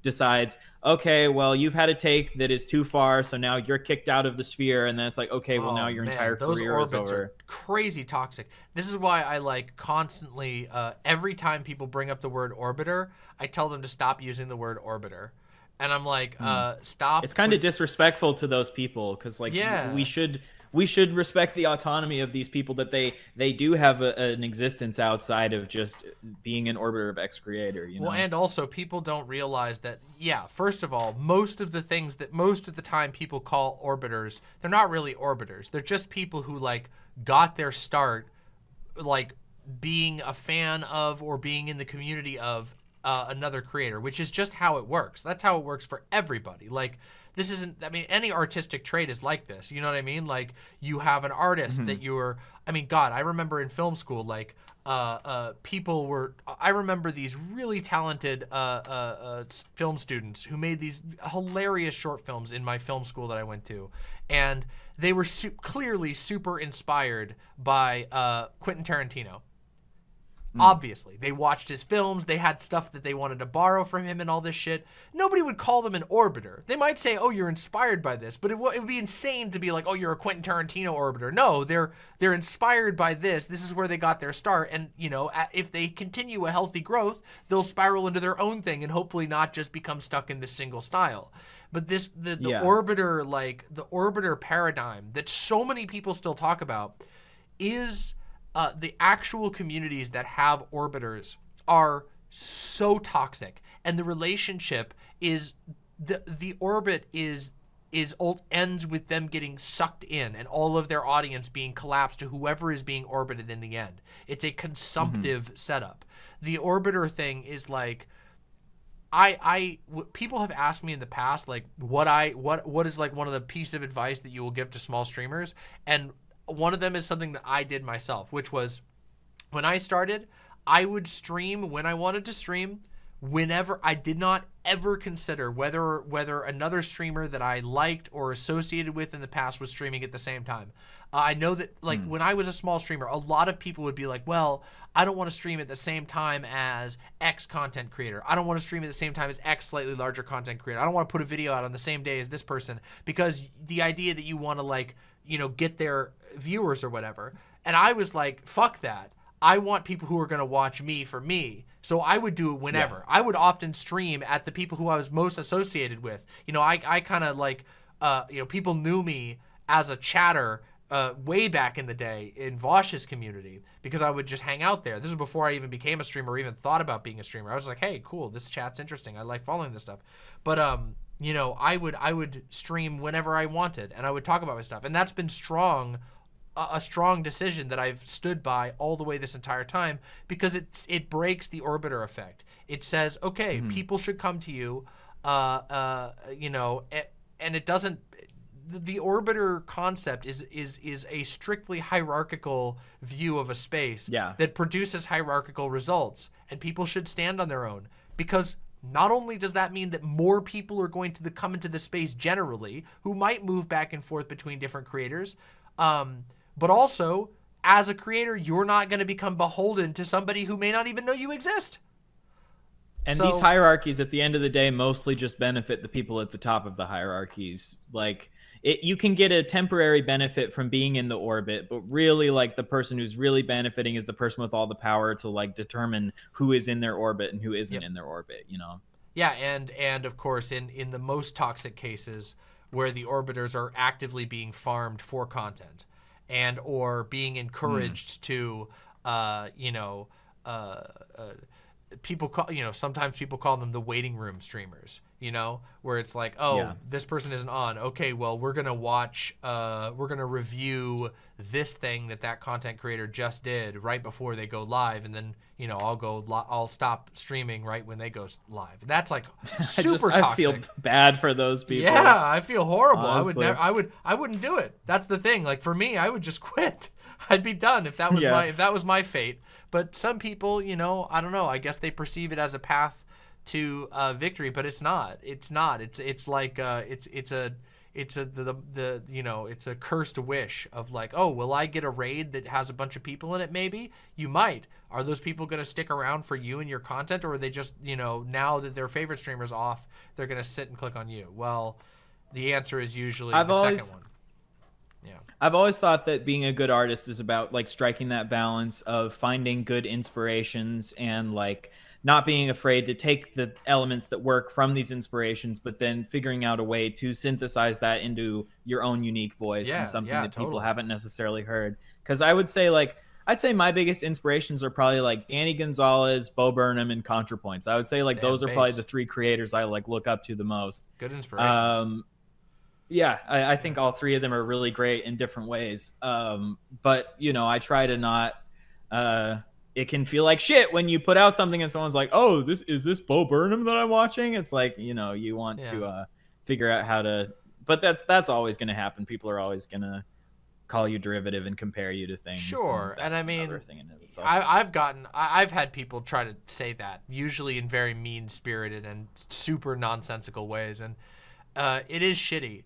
It does feel like shit, but also it kind of betrays the the mentality of the space that like people are so close minded and they're so fixated on a handful of creators that they can't even imagine uh, somebody having some stylistic similarities but doing other things differently, and that's unfortunate. And I, I, that's part of the reason why I do want to encourage, uh, you know, more people coming into the space with different, uh, you know, with different talents and different focuses. I mean. Uh, it makes me really happy when when I see uh, other creators showing up who start to bring in an audience, you know, that's uh, that maybe has overlap with mine, but there's stuff that brought them here that's different. And that just, again, it just grows the space generally. It makes it not a stagnant swamp, but like a thriving environment. And I wish to see that. I wish to see that there was like this, this like, uh, where, I don't know, where the, the, the small conflicts got washed away by the sheer fact that there's so many other people doing so much cool shit that the little drama doesn't, doesn't dominate the space. But I don't think that's where we're at right now. Uh, like, yeah, that's what that it doesn't it doesn't feel that way. It feels like the drama is what is like cuz drama human conflict is going to like naturally arise. There's always going to be conflict. There's always going to be something where someone does something wrong and slights another person. But yeah, it just feels like from from like the outside looking in or even from the inside looking around, it just feels like drama is what is so much at the forefront of everything right now. it's definitely become that way even more so like i, I think that like i mean twitter had a huge hand in this uh, and the downfall of twitter has only made it worse and i think that there's like my hopeful side says that we're entering into a new paradigm because twitter is totally fucking i mean sorry x is X, uh, yeah, totally don't fucking don't dead name. Yeah. Don't dead name it's X. uh it's like it's like rip yeah it's like uh as chad's saying it's it's rip bozo at this point. Like uh it is the dregs. There is nothing happening. Uh there was a point where twitter discourse uh was so, so plentiful that you could have you know that multiple streamers could give their opinion on like a trending topic and it wouldn't be seen uh, just as like an attack against a particular person. It would just be, hey, this is the topic everybody's talking about. We can do segments on this. It was like, you know, I mean, people used to do Reddit content on YouTube back in the day where they would take a topic that was trending on Reddit and talk about it on their stream, and it would be, it would be, you know, and then of course over time it became more and more like terrible and and siloed off where it was like and I think that's where we're at. And I think like well we've passed that now. We're at the point where like Twitter is t- so unusable and so useless and the discourse cycles are so toxic and stupid that like you can't even make videos out of it. You can't even build off of it anymore. And so there's this period I, I'm thinking building where- off of it is just going to be making another drama video. Oh yeah, I mean like I mean when I talked about the uh, the, the the foreign man Keffals video, um, I I hadn't streamed. I did like a ten hour stream that was insanely long, and then I took like six days off, and I came and and during that time. All I saw was people talking about that shit on multiple social medias. And I have a pretty uh, diverse follow list of people that I follow. It was just so much of it. And I came back, I'm like, why the fuck is everybody talking about this? Why is everyone talking about this? Nobody's talking about anything fucking else. And so I sat down and watched the video and I said, this is fucking ridiculous. I understand why everyone's talking about it, but what the fuck? How how stupid of Yeah. a topic. And uh and I think I I I I I regret in some ways even talking about it to talk about it. But at the same time i'm also like i hope that i was able to like point out the fact that like the root issue is so fucking boring and everybody's bored of it. Everyone. Nobody's enjoying talking about this anymore. Even the people Yeah. who have made videos about it Feels like getting clearly- into their trenches. yeah, so it's like, what can we can we not just acknowledge this that this has become miserable? And and I just hope that I hope that I can encourage people to like deep breath, uh, you know, grass touch a little, and and and let's get some new stuff. Let's get some new content going here because I feel like we could, uh, you know, we could do with it. It's it's it's it's overdue for for people bringing in some original stuff for fucking cooling down some of this ridiculous uh, uh this ridiculous claims that are being levied against people and uh yeah I think I think my take is that at the core of the issue that causes the spiral is that you have creators with big egos who don't really want to admit when they make a mistake because that uh, is very damaging to their brand and it makes sense that if you like are admitting that you make a mistake then you might like miss out monetarily by that Yeah. and then you have people trying to criticize those creators but then they're overstating the harm of those creators. Yeah. and through through overstating that harm then that just reinforces in the audience of those creators that oh see all the people who are criticizing us are just completely toxic and and wrong because they're making these like crazy overblown accusations. Yeah. Uh, and then yeah that's obviously not going to lead to any sort of constructive dialogue happening. Yeah, and I maybe maybe we need to enter the era of the Giga Chad, where people just say, uh, uh, uh, "I don't care uh, anymore." Uh, that that you say this that you say that I uh, have done a no growth and and you know just say okay fine you know demonstrate it or shut the fuck up and I don't know maybe that's where I'm at where it's like yeah. Uh, I don't know like but then but then the other but i i do always see the other side of it that i don't the giga chad of just like i don't care that i did something wrong like that does like allow bad behavior to fester. And like i, I don't want to get into like too much specific drama and stuff but i definitely think um the fact that keffals did the thing where she um like ran the gay ops on people um, I just think like relying on the tactic of like using lies to get what you want is like a pretty. Uh, I, I don't think that's like a good strategy that's going to lead to like healthy, you know. Well, I don't know. See, when I look at that one, I I go and I say, okay, so we could we could talk about specifics on this one because this is one where I I uh, I saw, saw the clip. I've seen the clip. I've been here for the whole uh, the whole conversation, and when I when I saw that, I just went, what what am I supposed to care about here? Uh, uh Picrew avatars uh, uh, are a a uh, uh, like a like a almost like laughable uh, of people online that isn't even like clearly defined, and you want to troll them by making a Picrew and and acting like they act. And I can't get myself, I can't get mad over that, and I can't see it as like a a, a, racist act, and I can't see it as even mattering at all. I think that people were, and this is my opinion on that, uh, uh, which was I think that some some people were looking for something like a smoking gun to be like, this is the proof that Keffals is the bad person that we said. And I just can't. I, I mean, the terminology uh, of gay ops is obviously I don't like that terminology, but also uh, it sounded if I'm being completely honest, it comes off as very clearly in jest, and the result was nothing. Um, no one was hurt by it. Uh, there was like four people that even made fake Picrew accounts, and they said things like, mm, "Honey, I'm canceling you," and I'm just like, nobody got hurt by that. Uh, it's like. I don't know. I can't. Again, this is one of those situations me- where I'm just like, I can't imagine people still being mad about that when uh, when it just didn't amount to anything. Nobody was actually hurt. The only person who got offended by that was people who sort of volunteered that I'm, as a member of the Picrew Mafia, I'm angry that you're mocking me. And it's just like, well, you're, an anonymous person. That's the whole thing. The Picrew thing is you're an anonymous person. You don't put your face on the internet and you're goofing around and you're saying things here and you're saying things there and somebody decided to goof on you in a way that uh, I don't know, maybe came off as slightly edgy. I don't even think it's that edgy. I've seen some crazy edge on the internet. I don't think saying like I'm gonna do I'm gonna do gay ops on the Picrews. Like to me that just comes off as like a very obvious joke.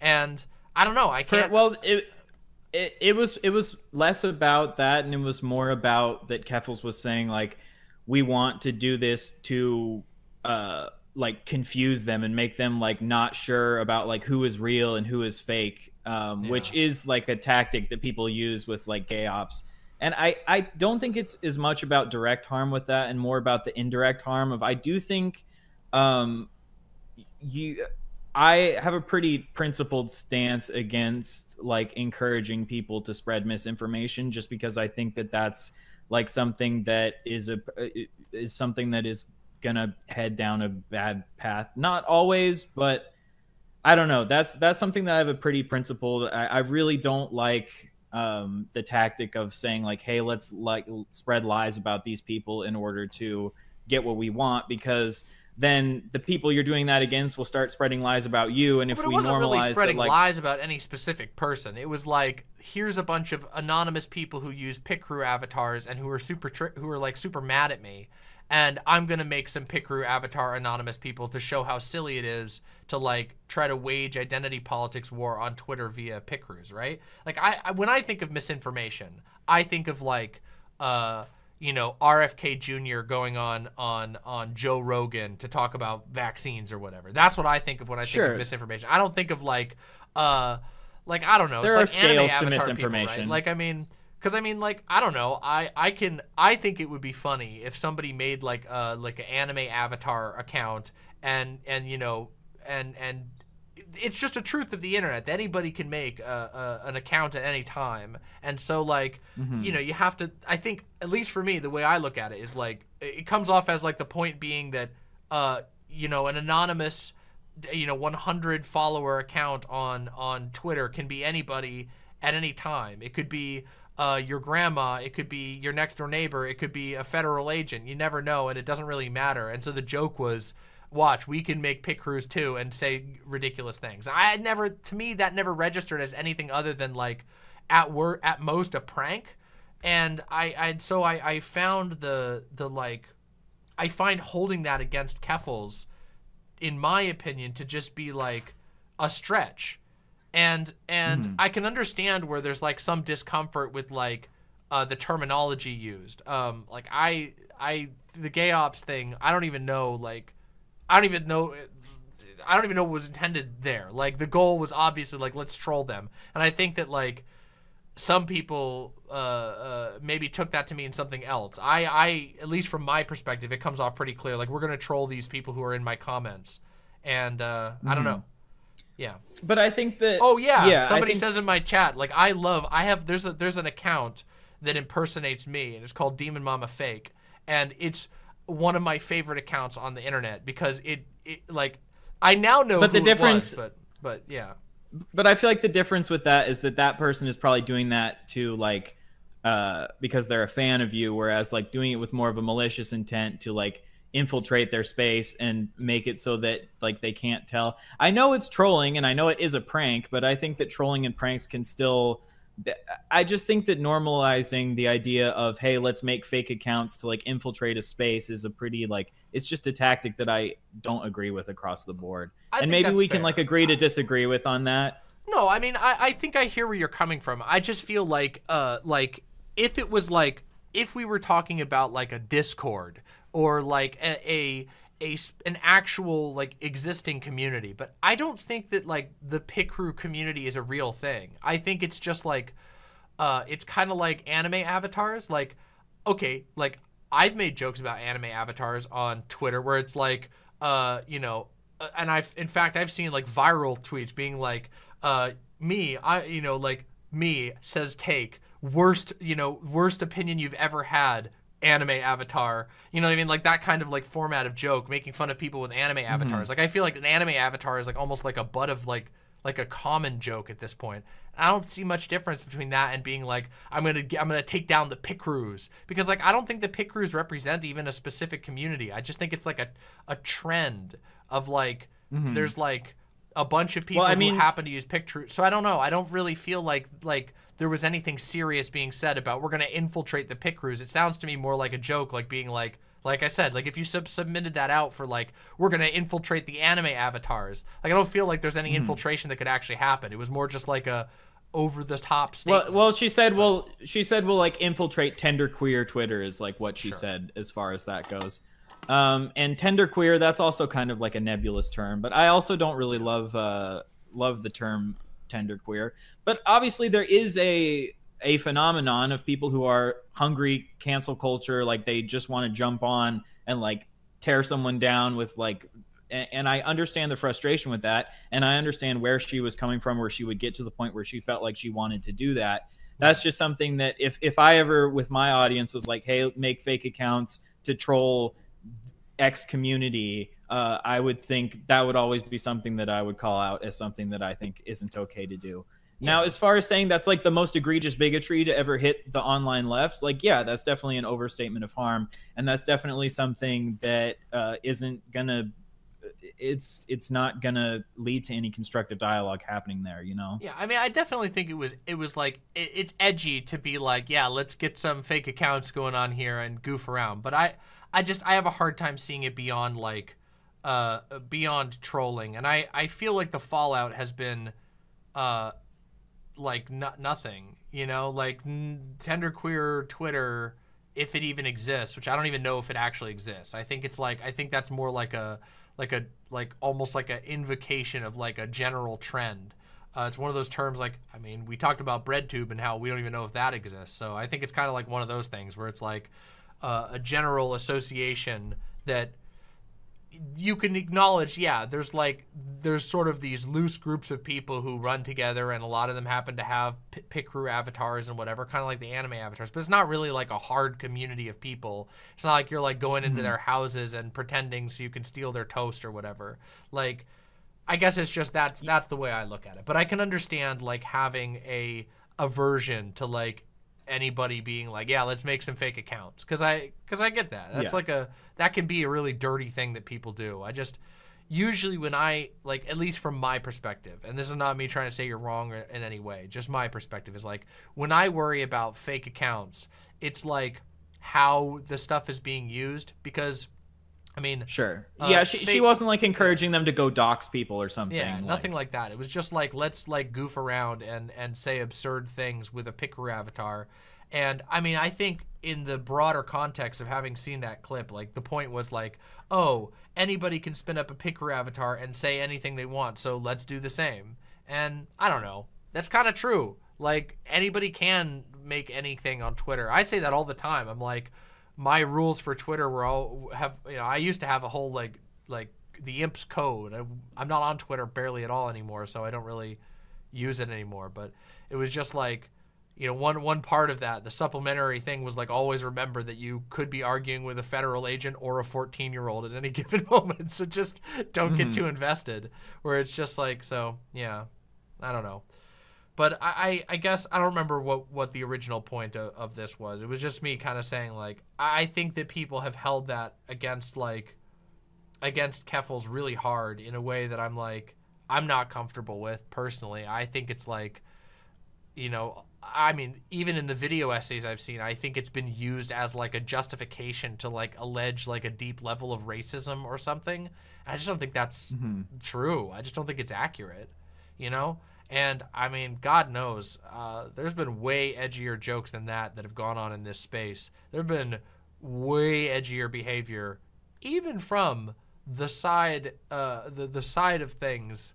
I mean, there's one you called out. I know you called this out. I've seen your tweet on this, like the the Jessie Gender uh, uh, liking the that one meme about sh- about Shark 300, which was like, wow, mm-hmm. that's a that's a.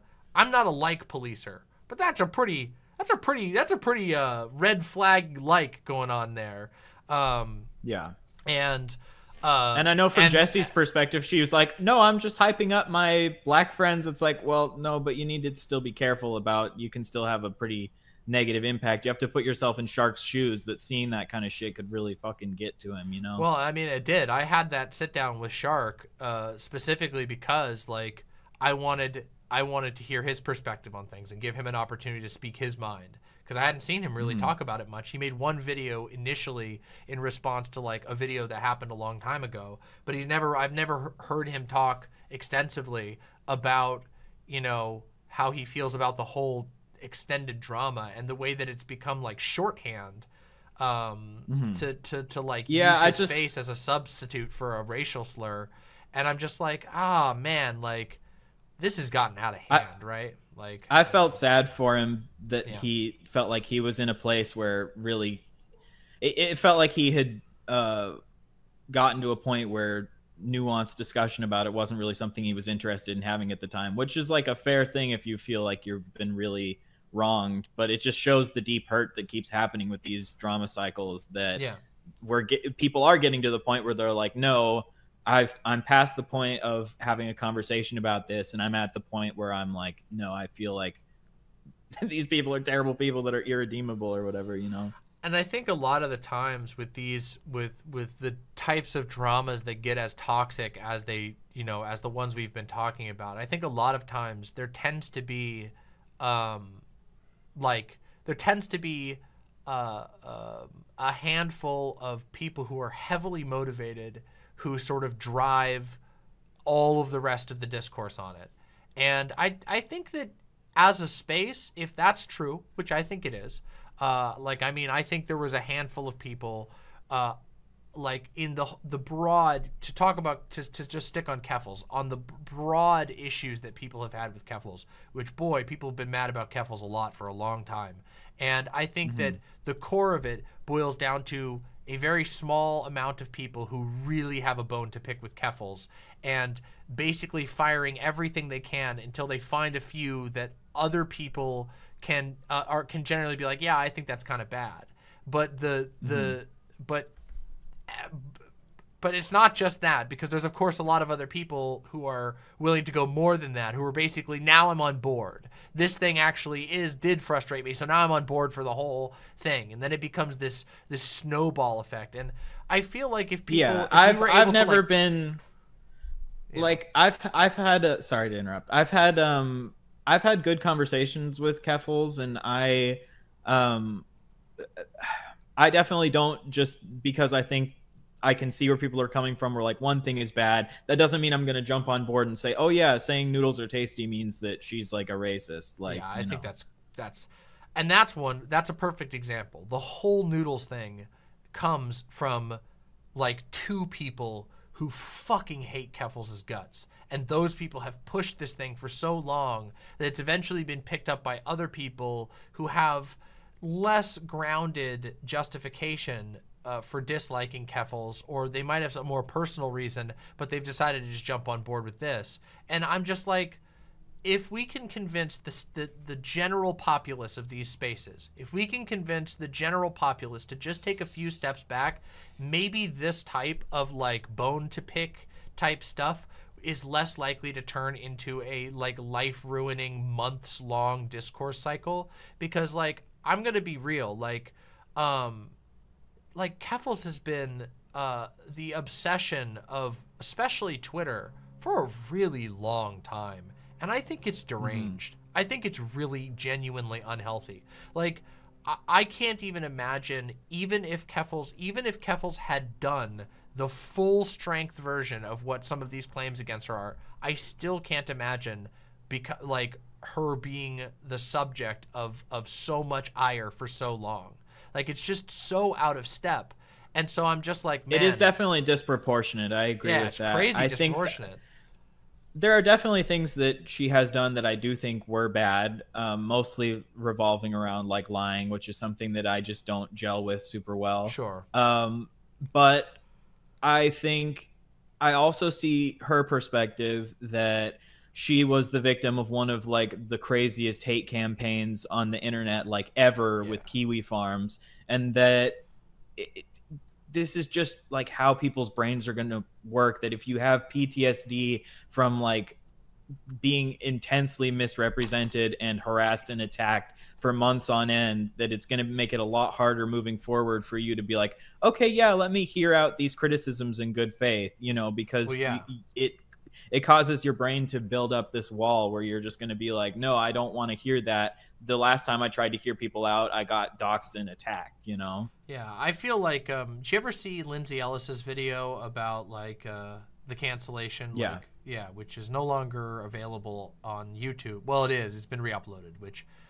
you know I'm glad about that personally. I, I don't I don't I hate like it be I hate it be like a video like that being taken out of the hands of the creator, but also I do think is a very valuable video, and like or contrapoints dealing with like a bunch of people. Like there there might have been a valid criticism that i think it was like buck angel was in a video and like i don't really like buck angel as a person I think but i Buck a definitely would not go yeah but i definitely would not go to the the point of saying like oh well contrapoints has betrayed the trans community because she had buck angel in a video it's like Yeah, and I Yeah. mean, I I think it was a um, it was it's Or like, um, like so much of it is like yeah, so like on that like when I listen to like the Lindsay Ellis video, uh, especially, I I think is like the perfect example of just explaining how you over time with with in these insane and un unreasonable accountability processes you become it becomes impossible to ever actually listen to feedback from the internet at large which pisses off tons of people but you have no choice uh, because um, because the internet at large is in with each incident becomes more deranged and it's it's more you can't actually get anything of value from that you're just getting a stream Yeah. of hate and i mean that's something that happened uh, to me on to, on a much larger on a much lesser scale not larger lesser scale significantly lesser scale where there was Yeah. a a part of there's a point in time where i just was like okay I can now recognize that a lot of the uh, way, a lot of the people talking about me online, a lot of the attention that I'm getting online, is people being totally unreasonable. They have received a narrative from someone who doesn't like me, and they are giving me feedback, and they're going to get mad that I'm not listening to their feedback. Um, and I just have to ignore it. And I have to trust that like the people that I keep near me, uh, uh, and the people who will tell me when I'm fucking up will do a good job at that. And you know, then that, but that's not always satisfying to people from the outside. It's it's definitely not to a lot of people. And I recognize that there's a lot of people on the internet who just won't like me. You know? Yeah, and that's something I'm trying to come to terms with is that sometimes people just aren't going to like you and that you're not going to be able to convince every random person on Twitter to see your side and things. And yeah, I, I think another example of that, like ContraPoints went through the whole thing with Buck Angel, but then ContraPoints in like a recent video called out Vaush. And I feel like ContraPoints had a somewhat valid critique that like ironic misogyny towards like J.K. Rowling isn't necessarily going to like help trans women. That feels like a valid critique to me. But then she followed that up by saying that Vaush clearly doesn't care about trans women at all. And it's like, okay, well, that is a crazy claim. Like, Yeah. what do you have to back up? Like, you really don't think that Vaush cares about trans women, even though he talks, he's like one of the biggest av- advocates on the internet for like trans issues and one of the biggest people who pushes that like trans, like does these trans debates. Like, I, I don't see how you could come to that conclusion that he doesn't care about trans people. You could maybe come to the conclusion that he's like careless and overly edgy and like prioritizes his like need to make edgy humor over like the needs of trans women sometimes. That's more where I would like come from it, but I wouldn't come from it saying like this shows that he doesn't care at all about trans women. And then it's like now lit uh ContraPoints audience of millions of people is like, okay, well, yeah, Vaush doesn't care about us at all. And it's like, okay, that's Yeah, and that's it's way it's, overdoing it. I mean, sometimes it literally is just a problem with power, right? You get some you get some power, even if it's a small amount of power, and you might be tempted to misuse it uh, in a really Mhm. spiteful way. I mean, maybe maybe ContraPoints really does believe that. Uh, I can't. I feel like it was not well evidenced, and I felt like I mean I had that when I watched that video. I felt like it actually like derailed from the rest of the video, like pretty notably.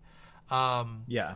and it I felt like a personal it felt like a personal grudge Extreme it was a personal yeah. grudge yeah and I'm just like, you know, and you shouldn't let personal grudges discount the validity of the points that you're making because you do have a responsibility to like be accurate in the claims that you're making if you're making accusations against people and you shouldn't just be like oh i don't like this person so i'm going to make this really crazy over overblown claim about them you know yeah, yeah.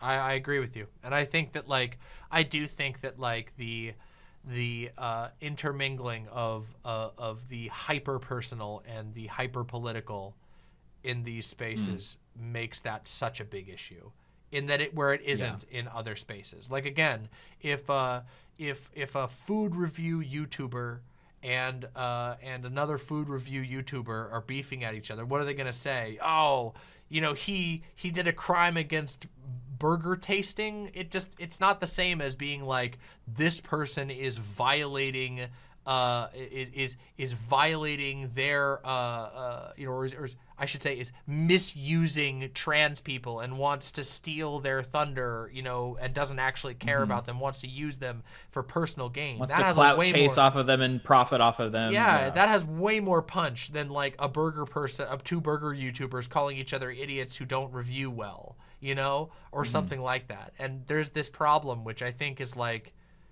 I don't know how you fix that I haven't figured that one out yet. I don't know. I don't know how we fix that or if there really is a way outside of just being like uh at least diagnosing that or at least understanding that this is a thing that happens because I think yeah. leftism I think leftism does have some infighting kind of baked into it and there has always been like leftist infighting especially because like anarchists versus Marxist Leninists versus democratic socialists. Like yeah. th- these are like wildly kind of stuff is mostly healthy. Like I think that like the dis that part is like I think is is is is the good part of leftist infighting. The fact that people the ideological beliefs, discussion. Yeah, that they yeah. do have beliefs. They are interested in in in in in testing those beliefs and figuring out the the you know which which one is correct. I think that like proves that like like nobody falls in line like you do on the right. Like on the right, I always talk about the difference between leftist infighting and right wing infighting, which is right wing infighting. Somebody ends up uh, dead or with their career dead, and I always give the yeah. the best example of this is Milo Yiannopoulos. There was a point in mm-hmm. time mm-hmm. where Milo Yiannopoulos was fucking everywhere. He was on every stupid fucking university campus. He was on everybody's TV shows all over YouTube. The dude was everywhere. And then the right canceled him over a statement that he made on a right on a not a right wing but on a uh, like a like a centristy podcast um, which to be honest I think he does definitely deserved to be jumped on for. It was his weird pedophilia comments. But it was the right wing yeah. that tore him apart and they destroyed him. They just were like mm-hmm. look another another fucking gay guy who's a pedophile. Get him! And they just and he's gone He's obliterated. Yeah. This man is. Com- and and that's one of the reasons you don't want to be a pick me on the right wing because they'll tear you apart the second. Yeah. I mean, I feel like he he deserved to be torn apart, oh, but totally. he was also, yeah. But as just an educational way of the way these spaces work, like uh uh the levels of, I mean, his it wasn't exactly like uh I mean, his opinions, he's been saying heinous shit for a long time. And that's not even the mm-hmm. first time. For people who, who knew his the history of Milo Yiannopoulos, uh, it's not even the first time he's even said that argument. But they saw an opportunity where it was inconvenient for them and they burned him. Another great example is that um, that that trans lady on Twitter who got really big by doing the video where she was like, I don't think non-binary people are real. And like Kelly Cadigan. Kelly, yeah, yeah I made a video about her. She yeah. appeared and was obliterated in a moment. The moment that she turned, she served her purpose. The right has torn her to shreds, and now all she gets is just bombarded by transphobia constantly. Like the moment she said, like, "No, I actually do want to use the correct bathroom," they're like, "All right, you're dead. You're done." Yeah, the infighting is yeah. so much more severe. Like there's so many right-wing figures who just disappeared and will never come back. It's so much more brutal. And that's because like with a few exceptions, there are like a handful of like uh of like significant rifts where like there's enough of a niche uh like enough of a separation um, that it can't be completely obliterated. Like, uh, I mean, the the the MAGA versus like uh, uh, uh versus like the the Ron neocon type. Yeah, like that oh, yeah. that rift is just big enough that like even though Ron DeSantis is like getting totally whipped in the polls and like he's at like le- like he's tied with Vivek Ramaswamy at this point, just getting obliterated by uh, Trump, there's enough of a rift there that they can sustain for a while. But anything else, within the MAGA movement, tell me anybody who who who actually steps out of line with what Donald Trump says, who doesn't immediately doesn't get, get fired. Yeah, yeah. Yeah. it's just it's that they Yeah, fall I in think- line so hard. I think that is a good point to make. I feel like in leftist spaces, we can get hyper focused on talking about leftist infighting, and sometimes we, I've I've seen people be like, "Why is the left so divided? We need to be more united, like the right is." But I I don't think that's really the case. I think it comes and goes in waves. I think there are waves where the left is much more united. Like I think the left is pretty like unanimously united with like supporting the writer's strike and supporting like Yeah. SAG, and it's been Yeah. cool seeing like everyone come together and Yeah, like I don't think I've there isn't really much yeah there hasn't been anyone being like uh i don't even know what the take is that you could give to like discredit that but yeah i, I think it's uh i think it is good to remember that no people on the right do have just as much infighting and yes like they're the ones who are usually willing to like you know kill people if they step out of line Yeah, so. I mean the religious conflicts. Let's not even get started on that. You want to go historical? We could talk Oh, about yeah. inter right wing literal purges, but uh, oh yeah I mean, I, I tend to think that like on the left, respecting those differences is totally fine, um, but we should be careful that we don't uh, uh, uh, like totally obliterate people. Uh, uh, you know, over over differences that could that could be solved. Let's keep it for the important stuff. If you find a, a, a predator in your spaces, uh, you know, sure, You should blow, the, blow out, the shit yeah. out of them. If you find somebody who's like uh, advocating for uh, eugenics and they're trying to call themselves a, le- a leftist or whatever, fucking roast the shit out of them. But keep it for serious stuff. Like the, the the differences are are healthy. They're they're healthy to a certain degree. And uh, man, God So, but- knows I get but- fucking pissed off at like at you know I mean I get really pissed off at at like uh, uh, you know. More authoritarian leaning types. I mean, fuck. I mean, one of the people I listen to most frequently is like so much more Leninist than I am comfortable with. And I listen to their show all the time and I get pissed off about it all the time. But I don't think that they're like, uh, I don't think that they're like an evil person. Uh, Yeah. Even though I do think I'll sometimes like, watch. I'll I'll watch more like uh, centrist content sometimes more than left leaning content just because it's more it can be more like intellectually stimulating to try to like figure out what their takes are so you can kind of think through like why they're wrong on things Yeah, where they're know? coming from things. Yeah. Yeah.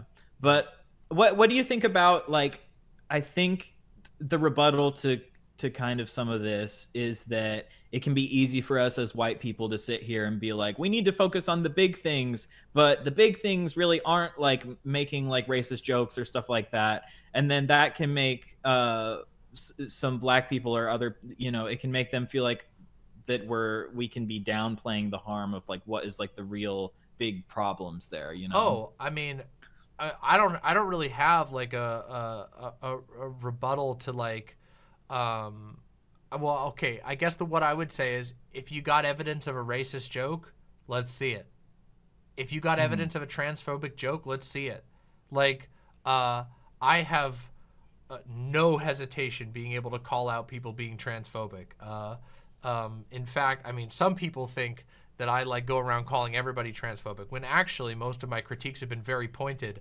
Uh, my one of my most famous conflicts, I was explicitly not calling the person transphobic and instead saying I think that this specific tactic, this specific approach that you did, is a transphobic action, but I think it can be fixed. Yeah. I think you can just choose not Yeah, to do see, that. And like, and I think that is I think that that's is the approach.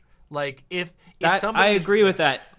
Yeah. When I'm criticizing someone, I like to focus in on like this was an action that can cause harm and it's a transphobic action, but I'm not gonna label you a transphobe unless I've seen like a pattern of actions that reinforces that you have some negative bias against trans people. Like I feel like saying you did a transphobic thing and you are a transphobe are two like completely the, the weight of those two accusations are very different, but people on Twitter will be like, th- they'll equate these two things. You did a transphobic thing, therefore you are a transphobe, therefore you should kill yourself. And that's like the, you know, I mean, Yeah. I I I to, like I I think that like no, we shouldn't turn a blind eye to bad behavior at all. Um and I'm not I've never I don't think that anything that I've said here has been asking people to turn a blind eye to bad behavior, but rather evidence the bad behavior. If the bad behavior is as bad as as it's being said, then let it stand on its own. Let's see it. Mm-hmm. Let's talk about the thing. Let's evidence it and let's address it for what it is instead of like uh uh, uh, you know, like a matryoshka doll of like, well, uh, th- it's that it's that uh, that whole like euphemization thing that happens where it's like, okay, well, here's a thing that somebody said was problematic, and that means that uh, you know there like like you said, like it, the, there is a tr- uh, uh, an, uh, the reverse of it that happens where like uh, people will say, oh well, this person made a joke and somebody else that I know said it was problematic, and that means well they're a transphobe or they're a racist or whatever, and there's a there's a mm-hmm. there's a step that's jumped. Uh, and I think it's jumped usually for convenience of the catchiness of, of, of levying accusations. I mean, and I also think something that I don't deal well like my brain doesn't deal well with uh interpreting hyperbole. Yeah. Um sometimes when someone's being hyperbolic, uh my brain doesn't like compute that. It's like yeah. I just take them at face value of like what they're saying and they're like, "No, I was obviously being hyperbolic." And it's like, "Okay, but I feel like hyperbole is something that you need to wield very carefully because I agree. it's it can be very difficult to tell when someone is being hyperbolic or not, you know? Yeah, it definitely can. And I think that like but I, I feel like most of the time it like the hyperbole is like not not not the core issue at hand. If somebody like if somebody's being if somebody's being racist it's usually pretty easy to tell that uh, without like like like the hyperbole defense is usually not going to work in most cases. There might be edge cases um, you know what i mean? Like whereas i think that like hyperbole is more often used like uh, uh, uh, to defend uh, more abstract things like like uh, when you're making a bunch of when you are listing out like 10 different allegations against somebody people will use hyperbole at, in a couple of those to make them seem worse so that by the time you get to the end of the list of allegations now you're convinced this person's the worst person on the planet and whereas yeah. like i mean at least in my experience, like it's usually not like I've not seen like the hyperbole defense used like to from somebody who was being accused of, of racism or or transphobia. Um, at least in my experience, like I don't know. There's so many examples of times. I mean, p- people people. I got accused of being transphobic for a really long period of time because of the most ridiculous mental gymnastics that I could possibly imagine. It was because I made a self ID based argument, and there was a because I made a self ID argument, they concluded that I must also think that. Uh, I'm trying to. I'm going to try and lay out the logic here, which was I made an argument that self ID is like a, a solid uh, is like a solid stance. Like for, for other people, you, if somebody says they're, you know, whatever gender, that's perfectly fine. Because just like a name, anybody can call it on and there's no real way to police it any other way. And then uh, they took that to say, well, that means that I don't believe that there's such a thing as like um, intrinsic gender, which is true. I don't think that that you are that like gender is a thing that's written into your DNA or anything like that. I think it's something that people come to grapple with. It's a social structure. But then they took that to mm. mean, well, that means you think that trans people before they come out aren't actually women or men.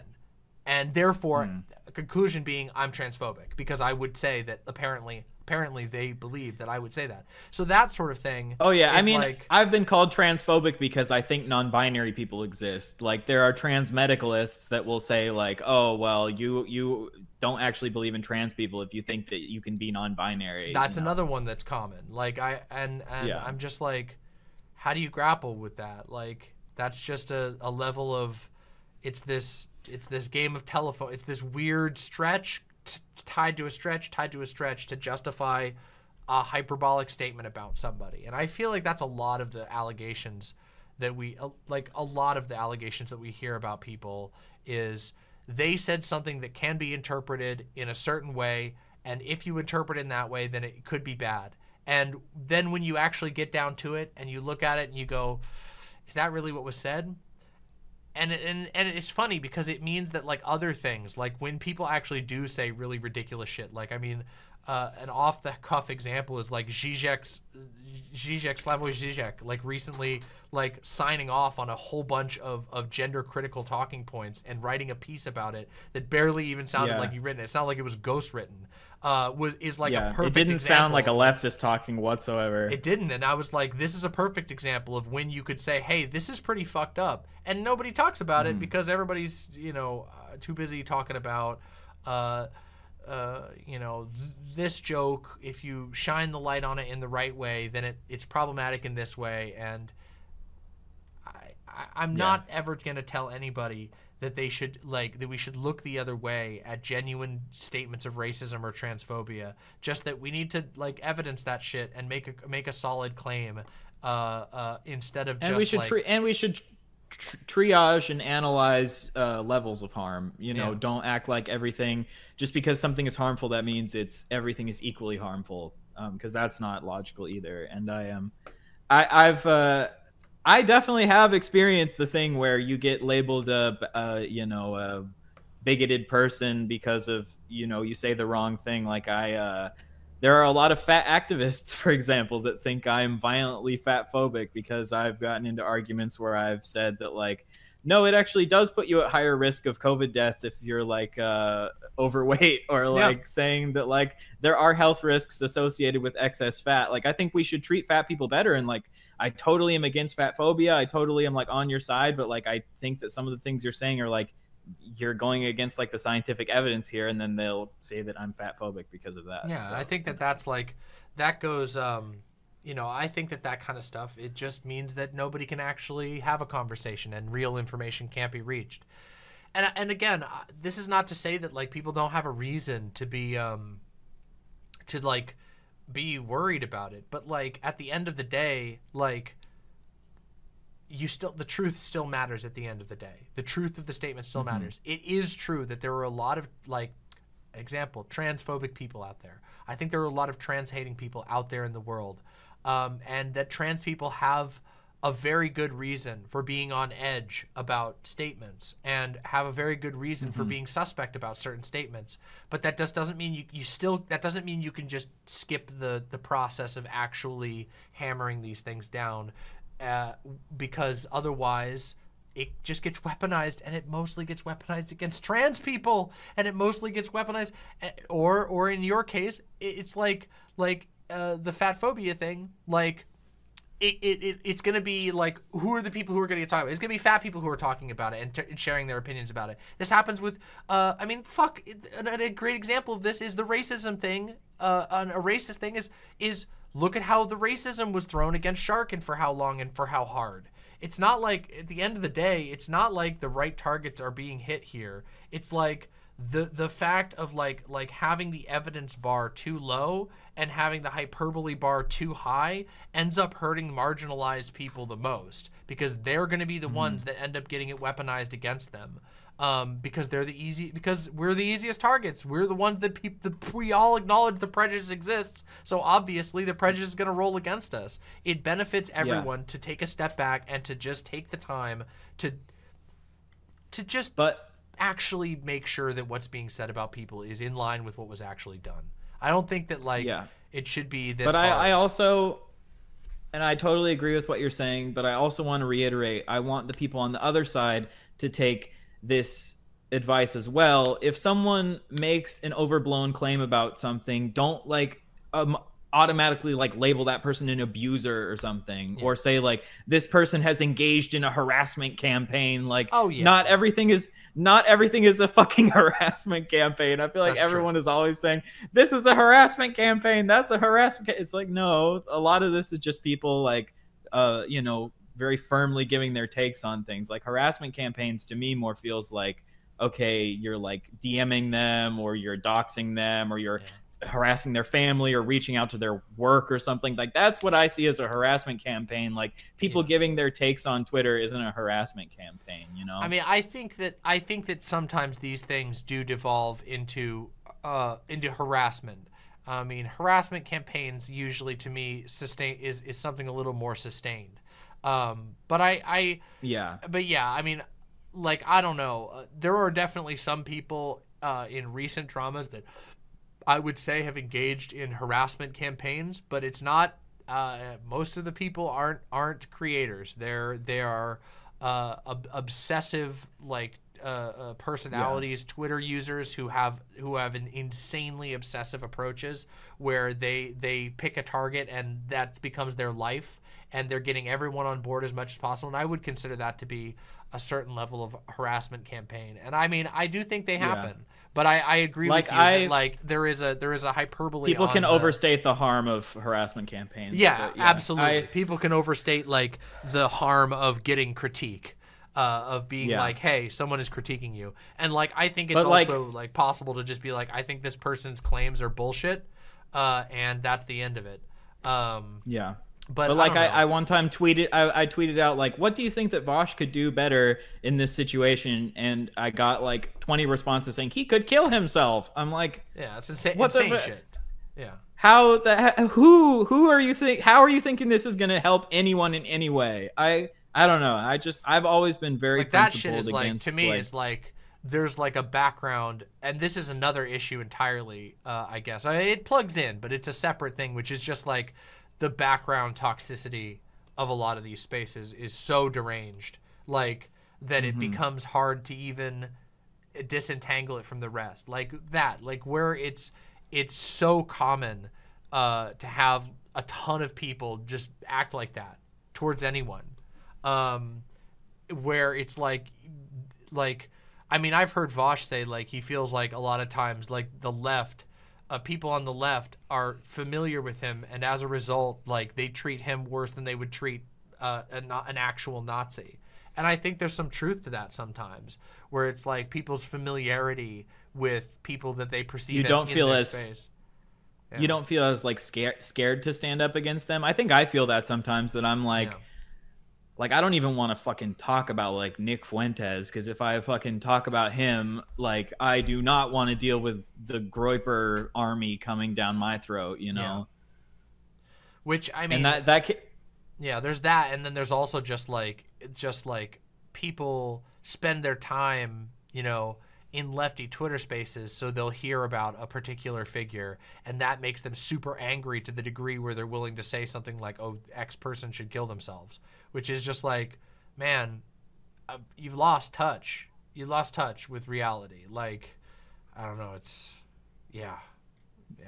yeah. So- I I think I don't know. I think there should be like a some standards of conduct. And like I said, I do think a standard of conduct should be like don't encourage your followers to make fake accounts or like try to infiltrate spaces. I think that's not a good thing to do. Don't ever send death threats. Don't ever tell people to kill themselves. Don't ever dox Yeah. people. Don't ever reach out to someone's fucking family because you're mad at like a take that they had. Like I feel like these are uh, for in order for these online spaces to not just evolve into like everyone being terrified at all times. We have to have like a certain level of conduct you know? Yeah, and there's no one really to enforce it, so we just kind of have to encourage it and and demonstrate its value. And I do think that like, I do think that conversations like this can demonstrate that, can help people realize that like, you know, uh, uh, this type of behavior doesn't make the space good for anyone. It's actually not to anyone's benefit. It's arguably not even to the benefit of the people who are engaging in it because they seem pretty fucking miserable themselves.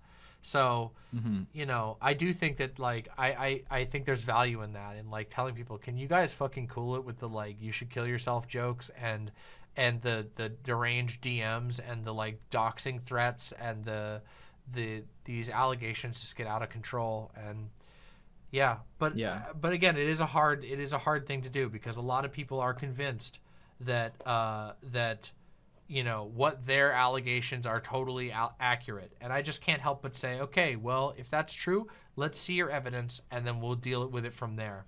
You know which is like what i what i felt like i did and people were free to disagree but that's what i felt like i did with the foreign man video where i listened to this video and i said i don't think what you what you've claimed here lines up with what you've presented as evidence and i don't and i think that you made a lot of claims that weren't backed up with the evidence that you showed and i think that's shit and you should do a better job I left it at that. I don't have any like long-term hate for for you know foreign man. I thought the video sucked, and I'll say the video sucked, and I thought it was hurtful in a lot of ways. um, to individuals. I think it was hurt. It's hurtful to say that kind of stuff uh, off the cuff. I think it was especially hurtful to like Shark, who totally got caught in the blast with really off the cuff, very very beginning of the video, really harsh uh, joke made Making it like made, a raccoon noise or something. yeah, and then showing his showing a face that was you know uh, showing a picture of him, a t- contextless contextless picture of him at a birthday party when he was at TwitchCon. Like that's like fucking weird behavior, insane behavior. And I think I am fine with calling that what it is, but I also don't think that, That- like uh, it should be the end that of video- man's career or whatever.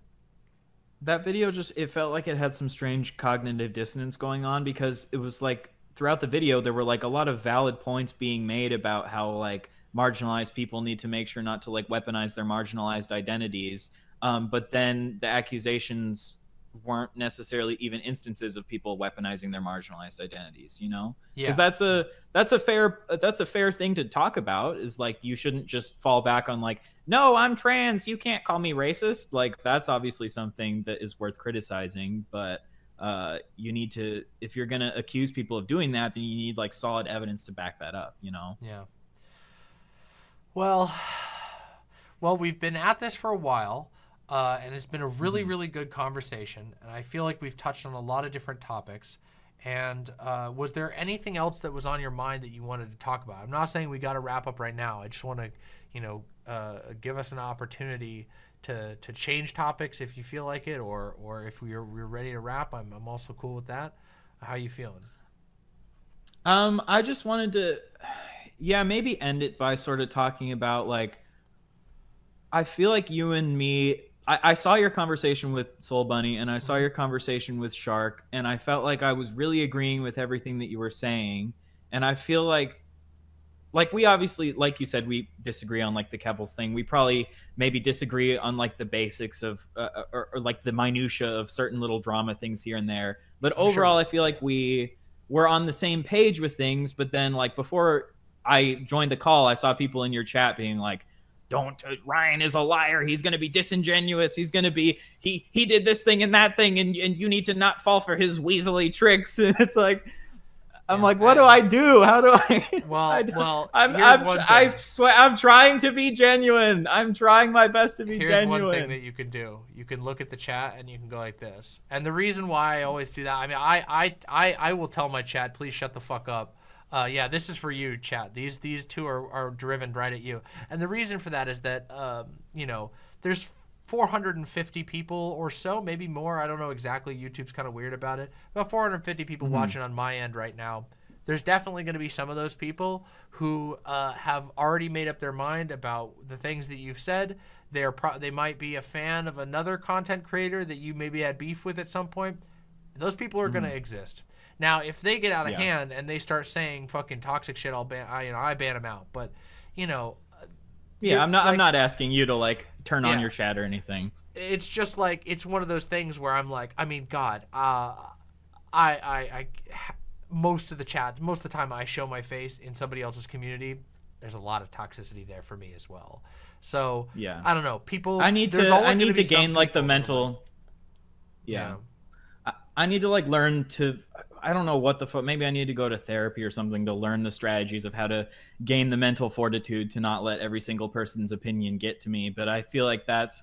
I don't know. I, I don't know if the human brain is like designed to deal with having hundreds of people being critical of you all at the same time. You know. Oh no, it totally isn't. Like I mean, I've uh, I don't handle it all that well either. Like I've developed some coping strategies and some some uh, tactics uh, to to to like minimize it, but I, I, people get through my armor all the time. I'll get a comment where somebody says something so fucking stupid and annoying. I mean, God. Yeah. Sometimes people go way across the line, and it's like where I feel like I need to take action. You know, people are ta- saying things that are like against the rules of the community. But even not just that. Like, it's not technically against the rules of my community to call me a white cuck, uh, bending over, you know, to to, to the opinions of black people or whatever. It's not technically Uh-huh. against the rules of my opinion of my community to be critical because I mean, I don't know. There might be somebody like that out there, and it's not really whatever. Like that's kind of offensive and whatever, but it's not technically out of the rules. But when somebody said that to me the other night, it fucking pissed me off so much. I blasted them, permabanned from my community. Just shut the fuck up And and I reserve the right to blast people on that kind of stuff because sometimes people just do. Sometimes people say things that are so off the cuff and designed to like piss you off. They're so out of reality and so against what's actually happening.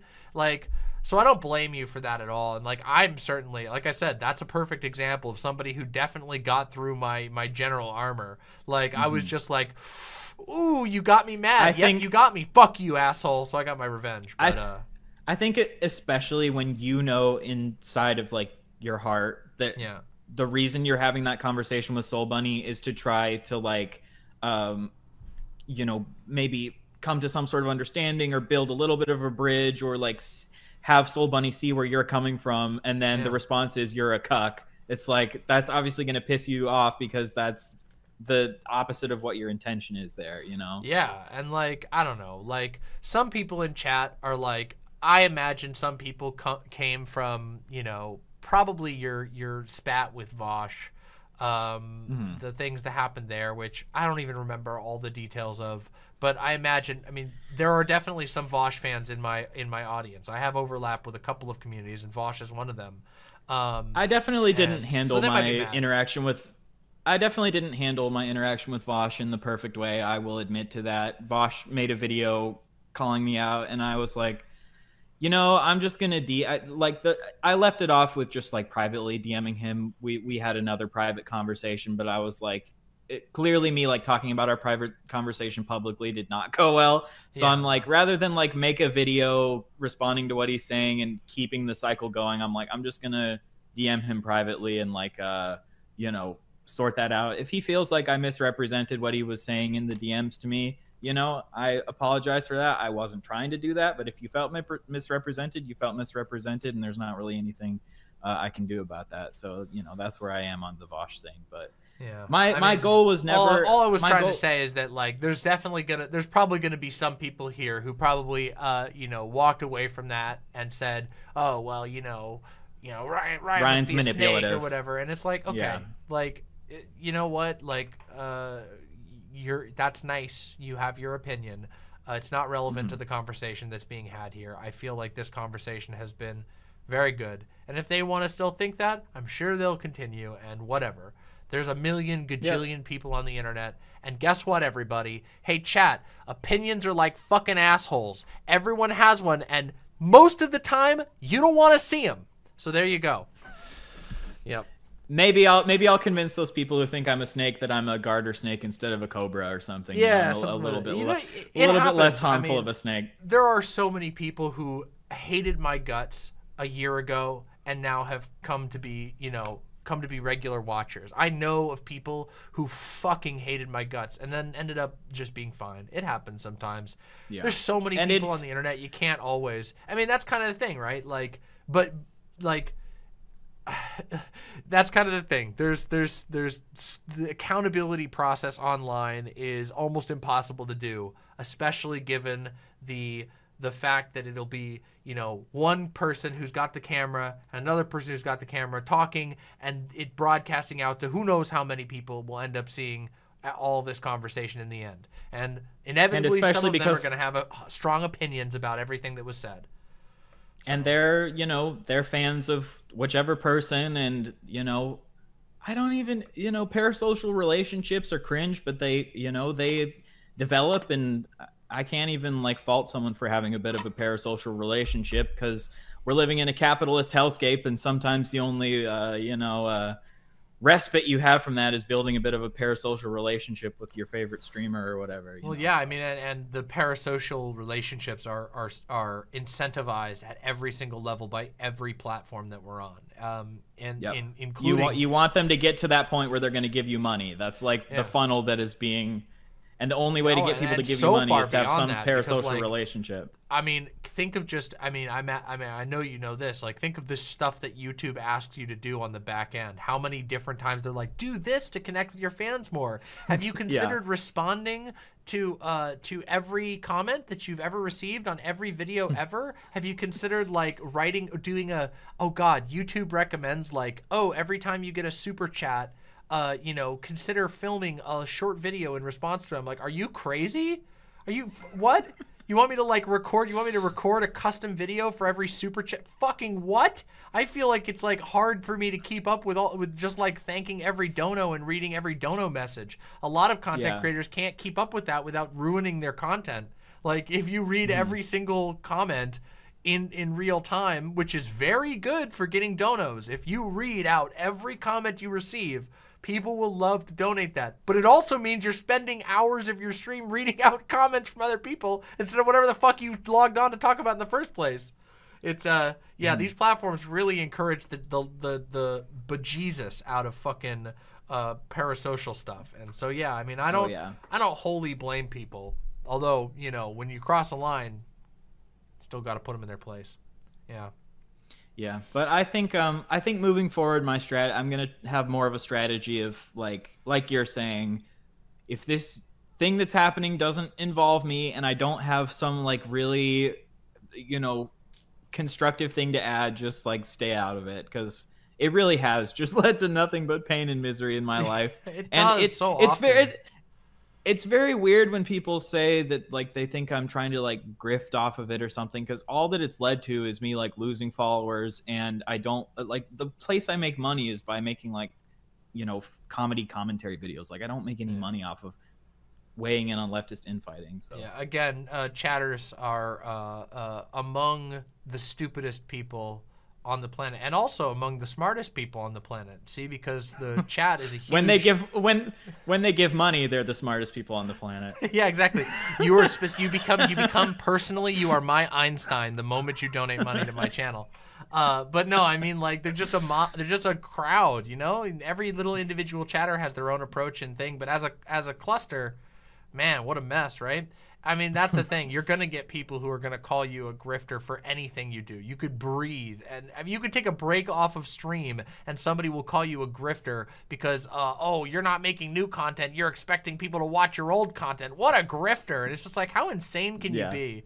But again, uh, ever there's a, you, it, on the internet you can find every opinion imaginable. The most deranged opinion. I mean, uh, the extremes being, you know, the. I mean, we watch some crazy conspiracy content on here every once in a while, and uh, some of those opinions get pretty wild. Some pretty interesting views on the world about what may or may not have transpired in the past. You know, mud floods and poop lanterns and uh, UFOs building the pyramids and all that kind of stuff. Um, yep yes, Naomi Yeah, Chance, I you personally are incredibly intelligent. Thank you for the super chat. I think, um, yeah, and I think people uh, can feel like, oh, we're in a good like uh, critical space where we make sure that we like base things off of evidence. So then that means that I'm not, you know, open to being like manipulated by things anymore. But that's definitely like not the case. Like everyone can be subject to being manipulated. You know. Oh yeah, E- even even the most uh, even the most guarded uh, sometimes succumb to their own biases. Uh, so keep that in mind, and everybody chill out just a little bit for God's sake. You know, you know, you're gonna get better stuff out of it. If you guys chill and Yeah. stop being so thirsty for blood, you're gonna end up getting stuff you like more. Okay, seriously. And everyone in the gonna chat, I love every single one of you, even when you're absolute fucking morons. Uh, so. That's the way to do it. That's awesome. yeah. Well, uh, it has been an absolute pleasure. Was there any other topics you want to touch on? I don't want to wrap us up too short, but uh, but no, no, I think I think uh, I really appreciated the conversation. Thank you Yeah, for what you're doing with trying to like uh, defuse a bit of the tension. I feel like that's what we need right now. so. yeah. I mean, I just want to see. I want to. I want to. I want to have. If I can have a cool conversation with someone and it can go like this, like I want to have that. Like this was awesome. This was a great conversation. I feel like we talked about a ton of stuff. We talked about some stuff that's miserable, but the conversation itself wasn't miserable. And I feel like people are going to walk away from this hearing both of our perspectives on uh, stuff that they've probably witnessed and seen. And I think it makes people think about it differently. I think that's awesome and really good. And again, hope I, so. I, I just really appreciated this conversation. Please, uh, before before we wrap up, shout out your channel one more time so that my lovely imps can go check out your stuff and see your your the heart of your content, the stuff that you do that has nothing to do with this type of stuff. the the actual quality stuff. No, uh, yeah, Ryan Beard, go check it out. Uh, make sure if anyone who's here from my audience subscribe to Demon Mama. She's doing really great stuff. So. Thank you. I appreciate that. Really appreciate that.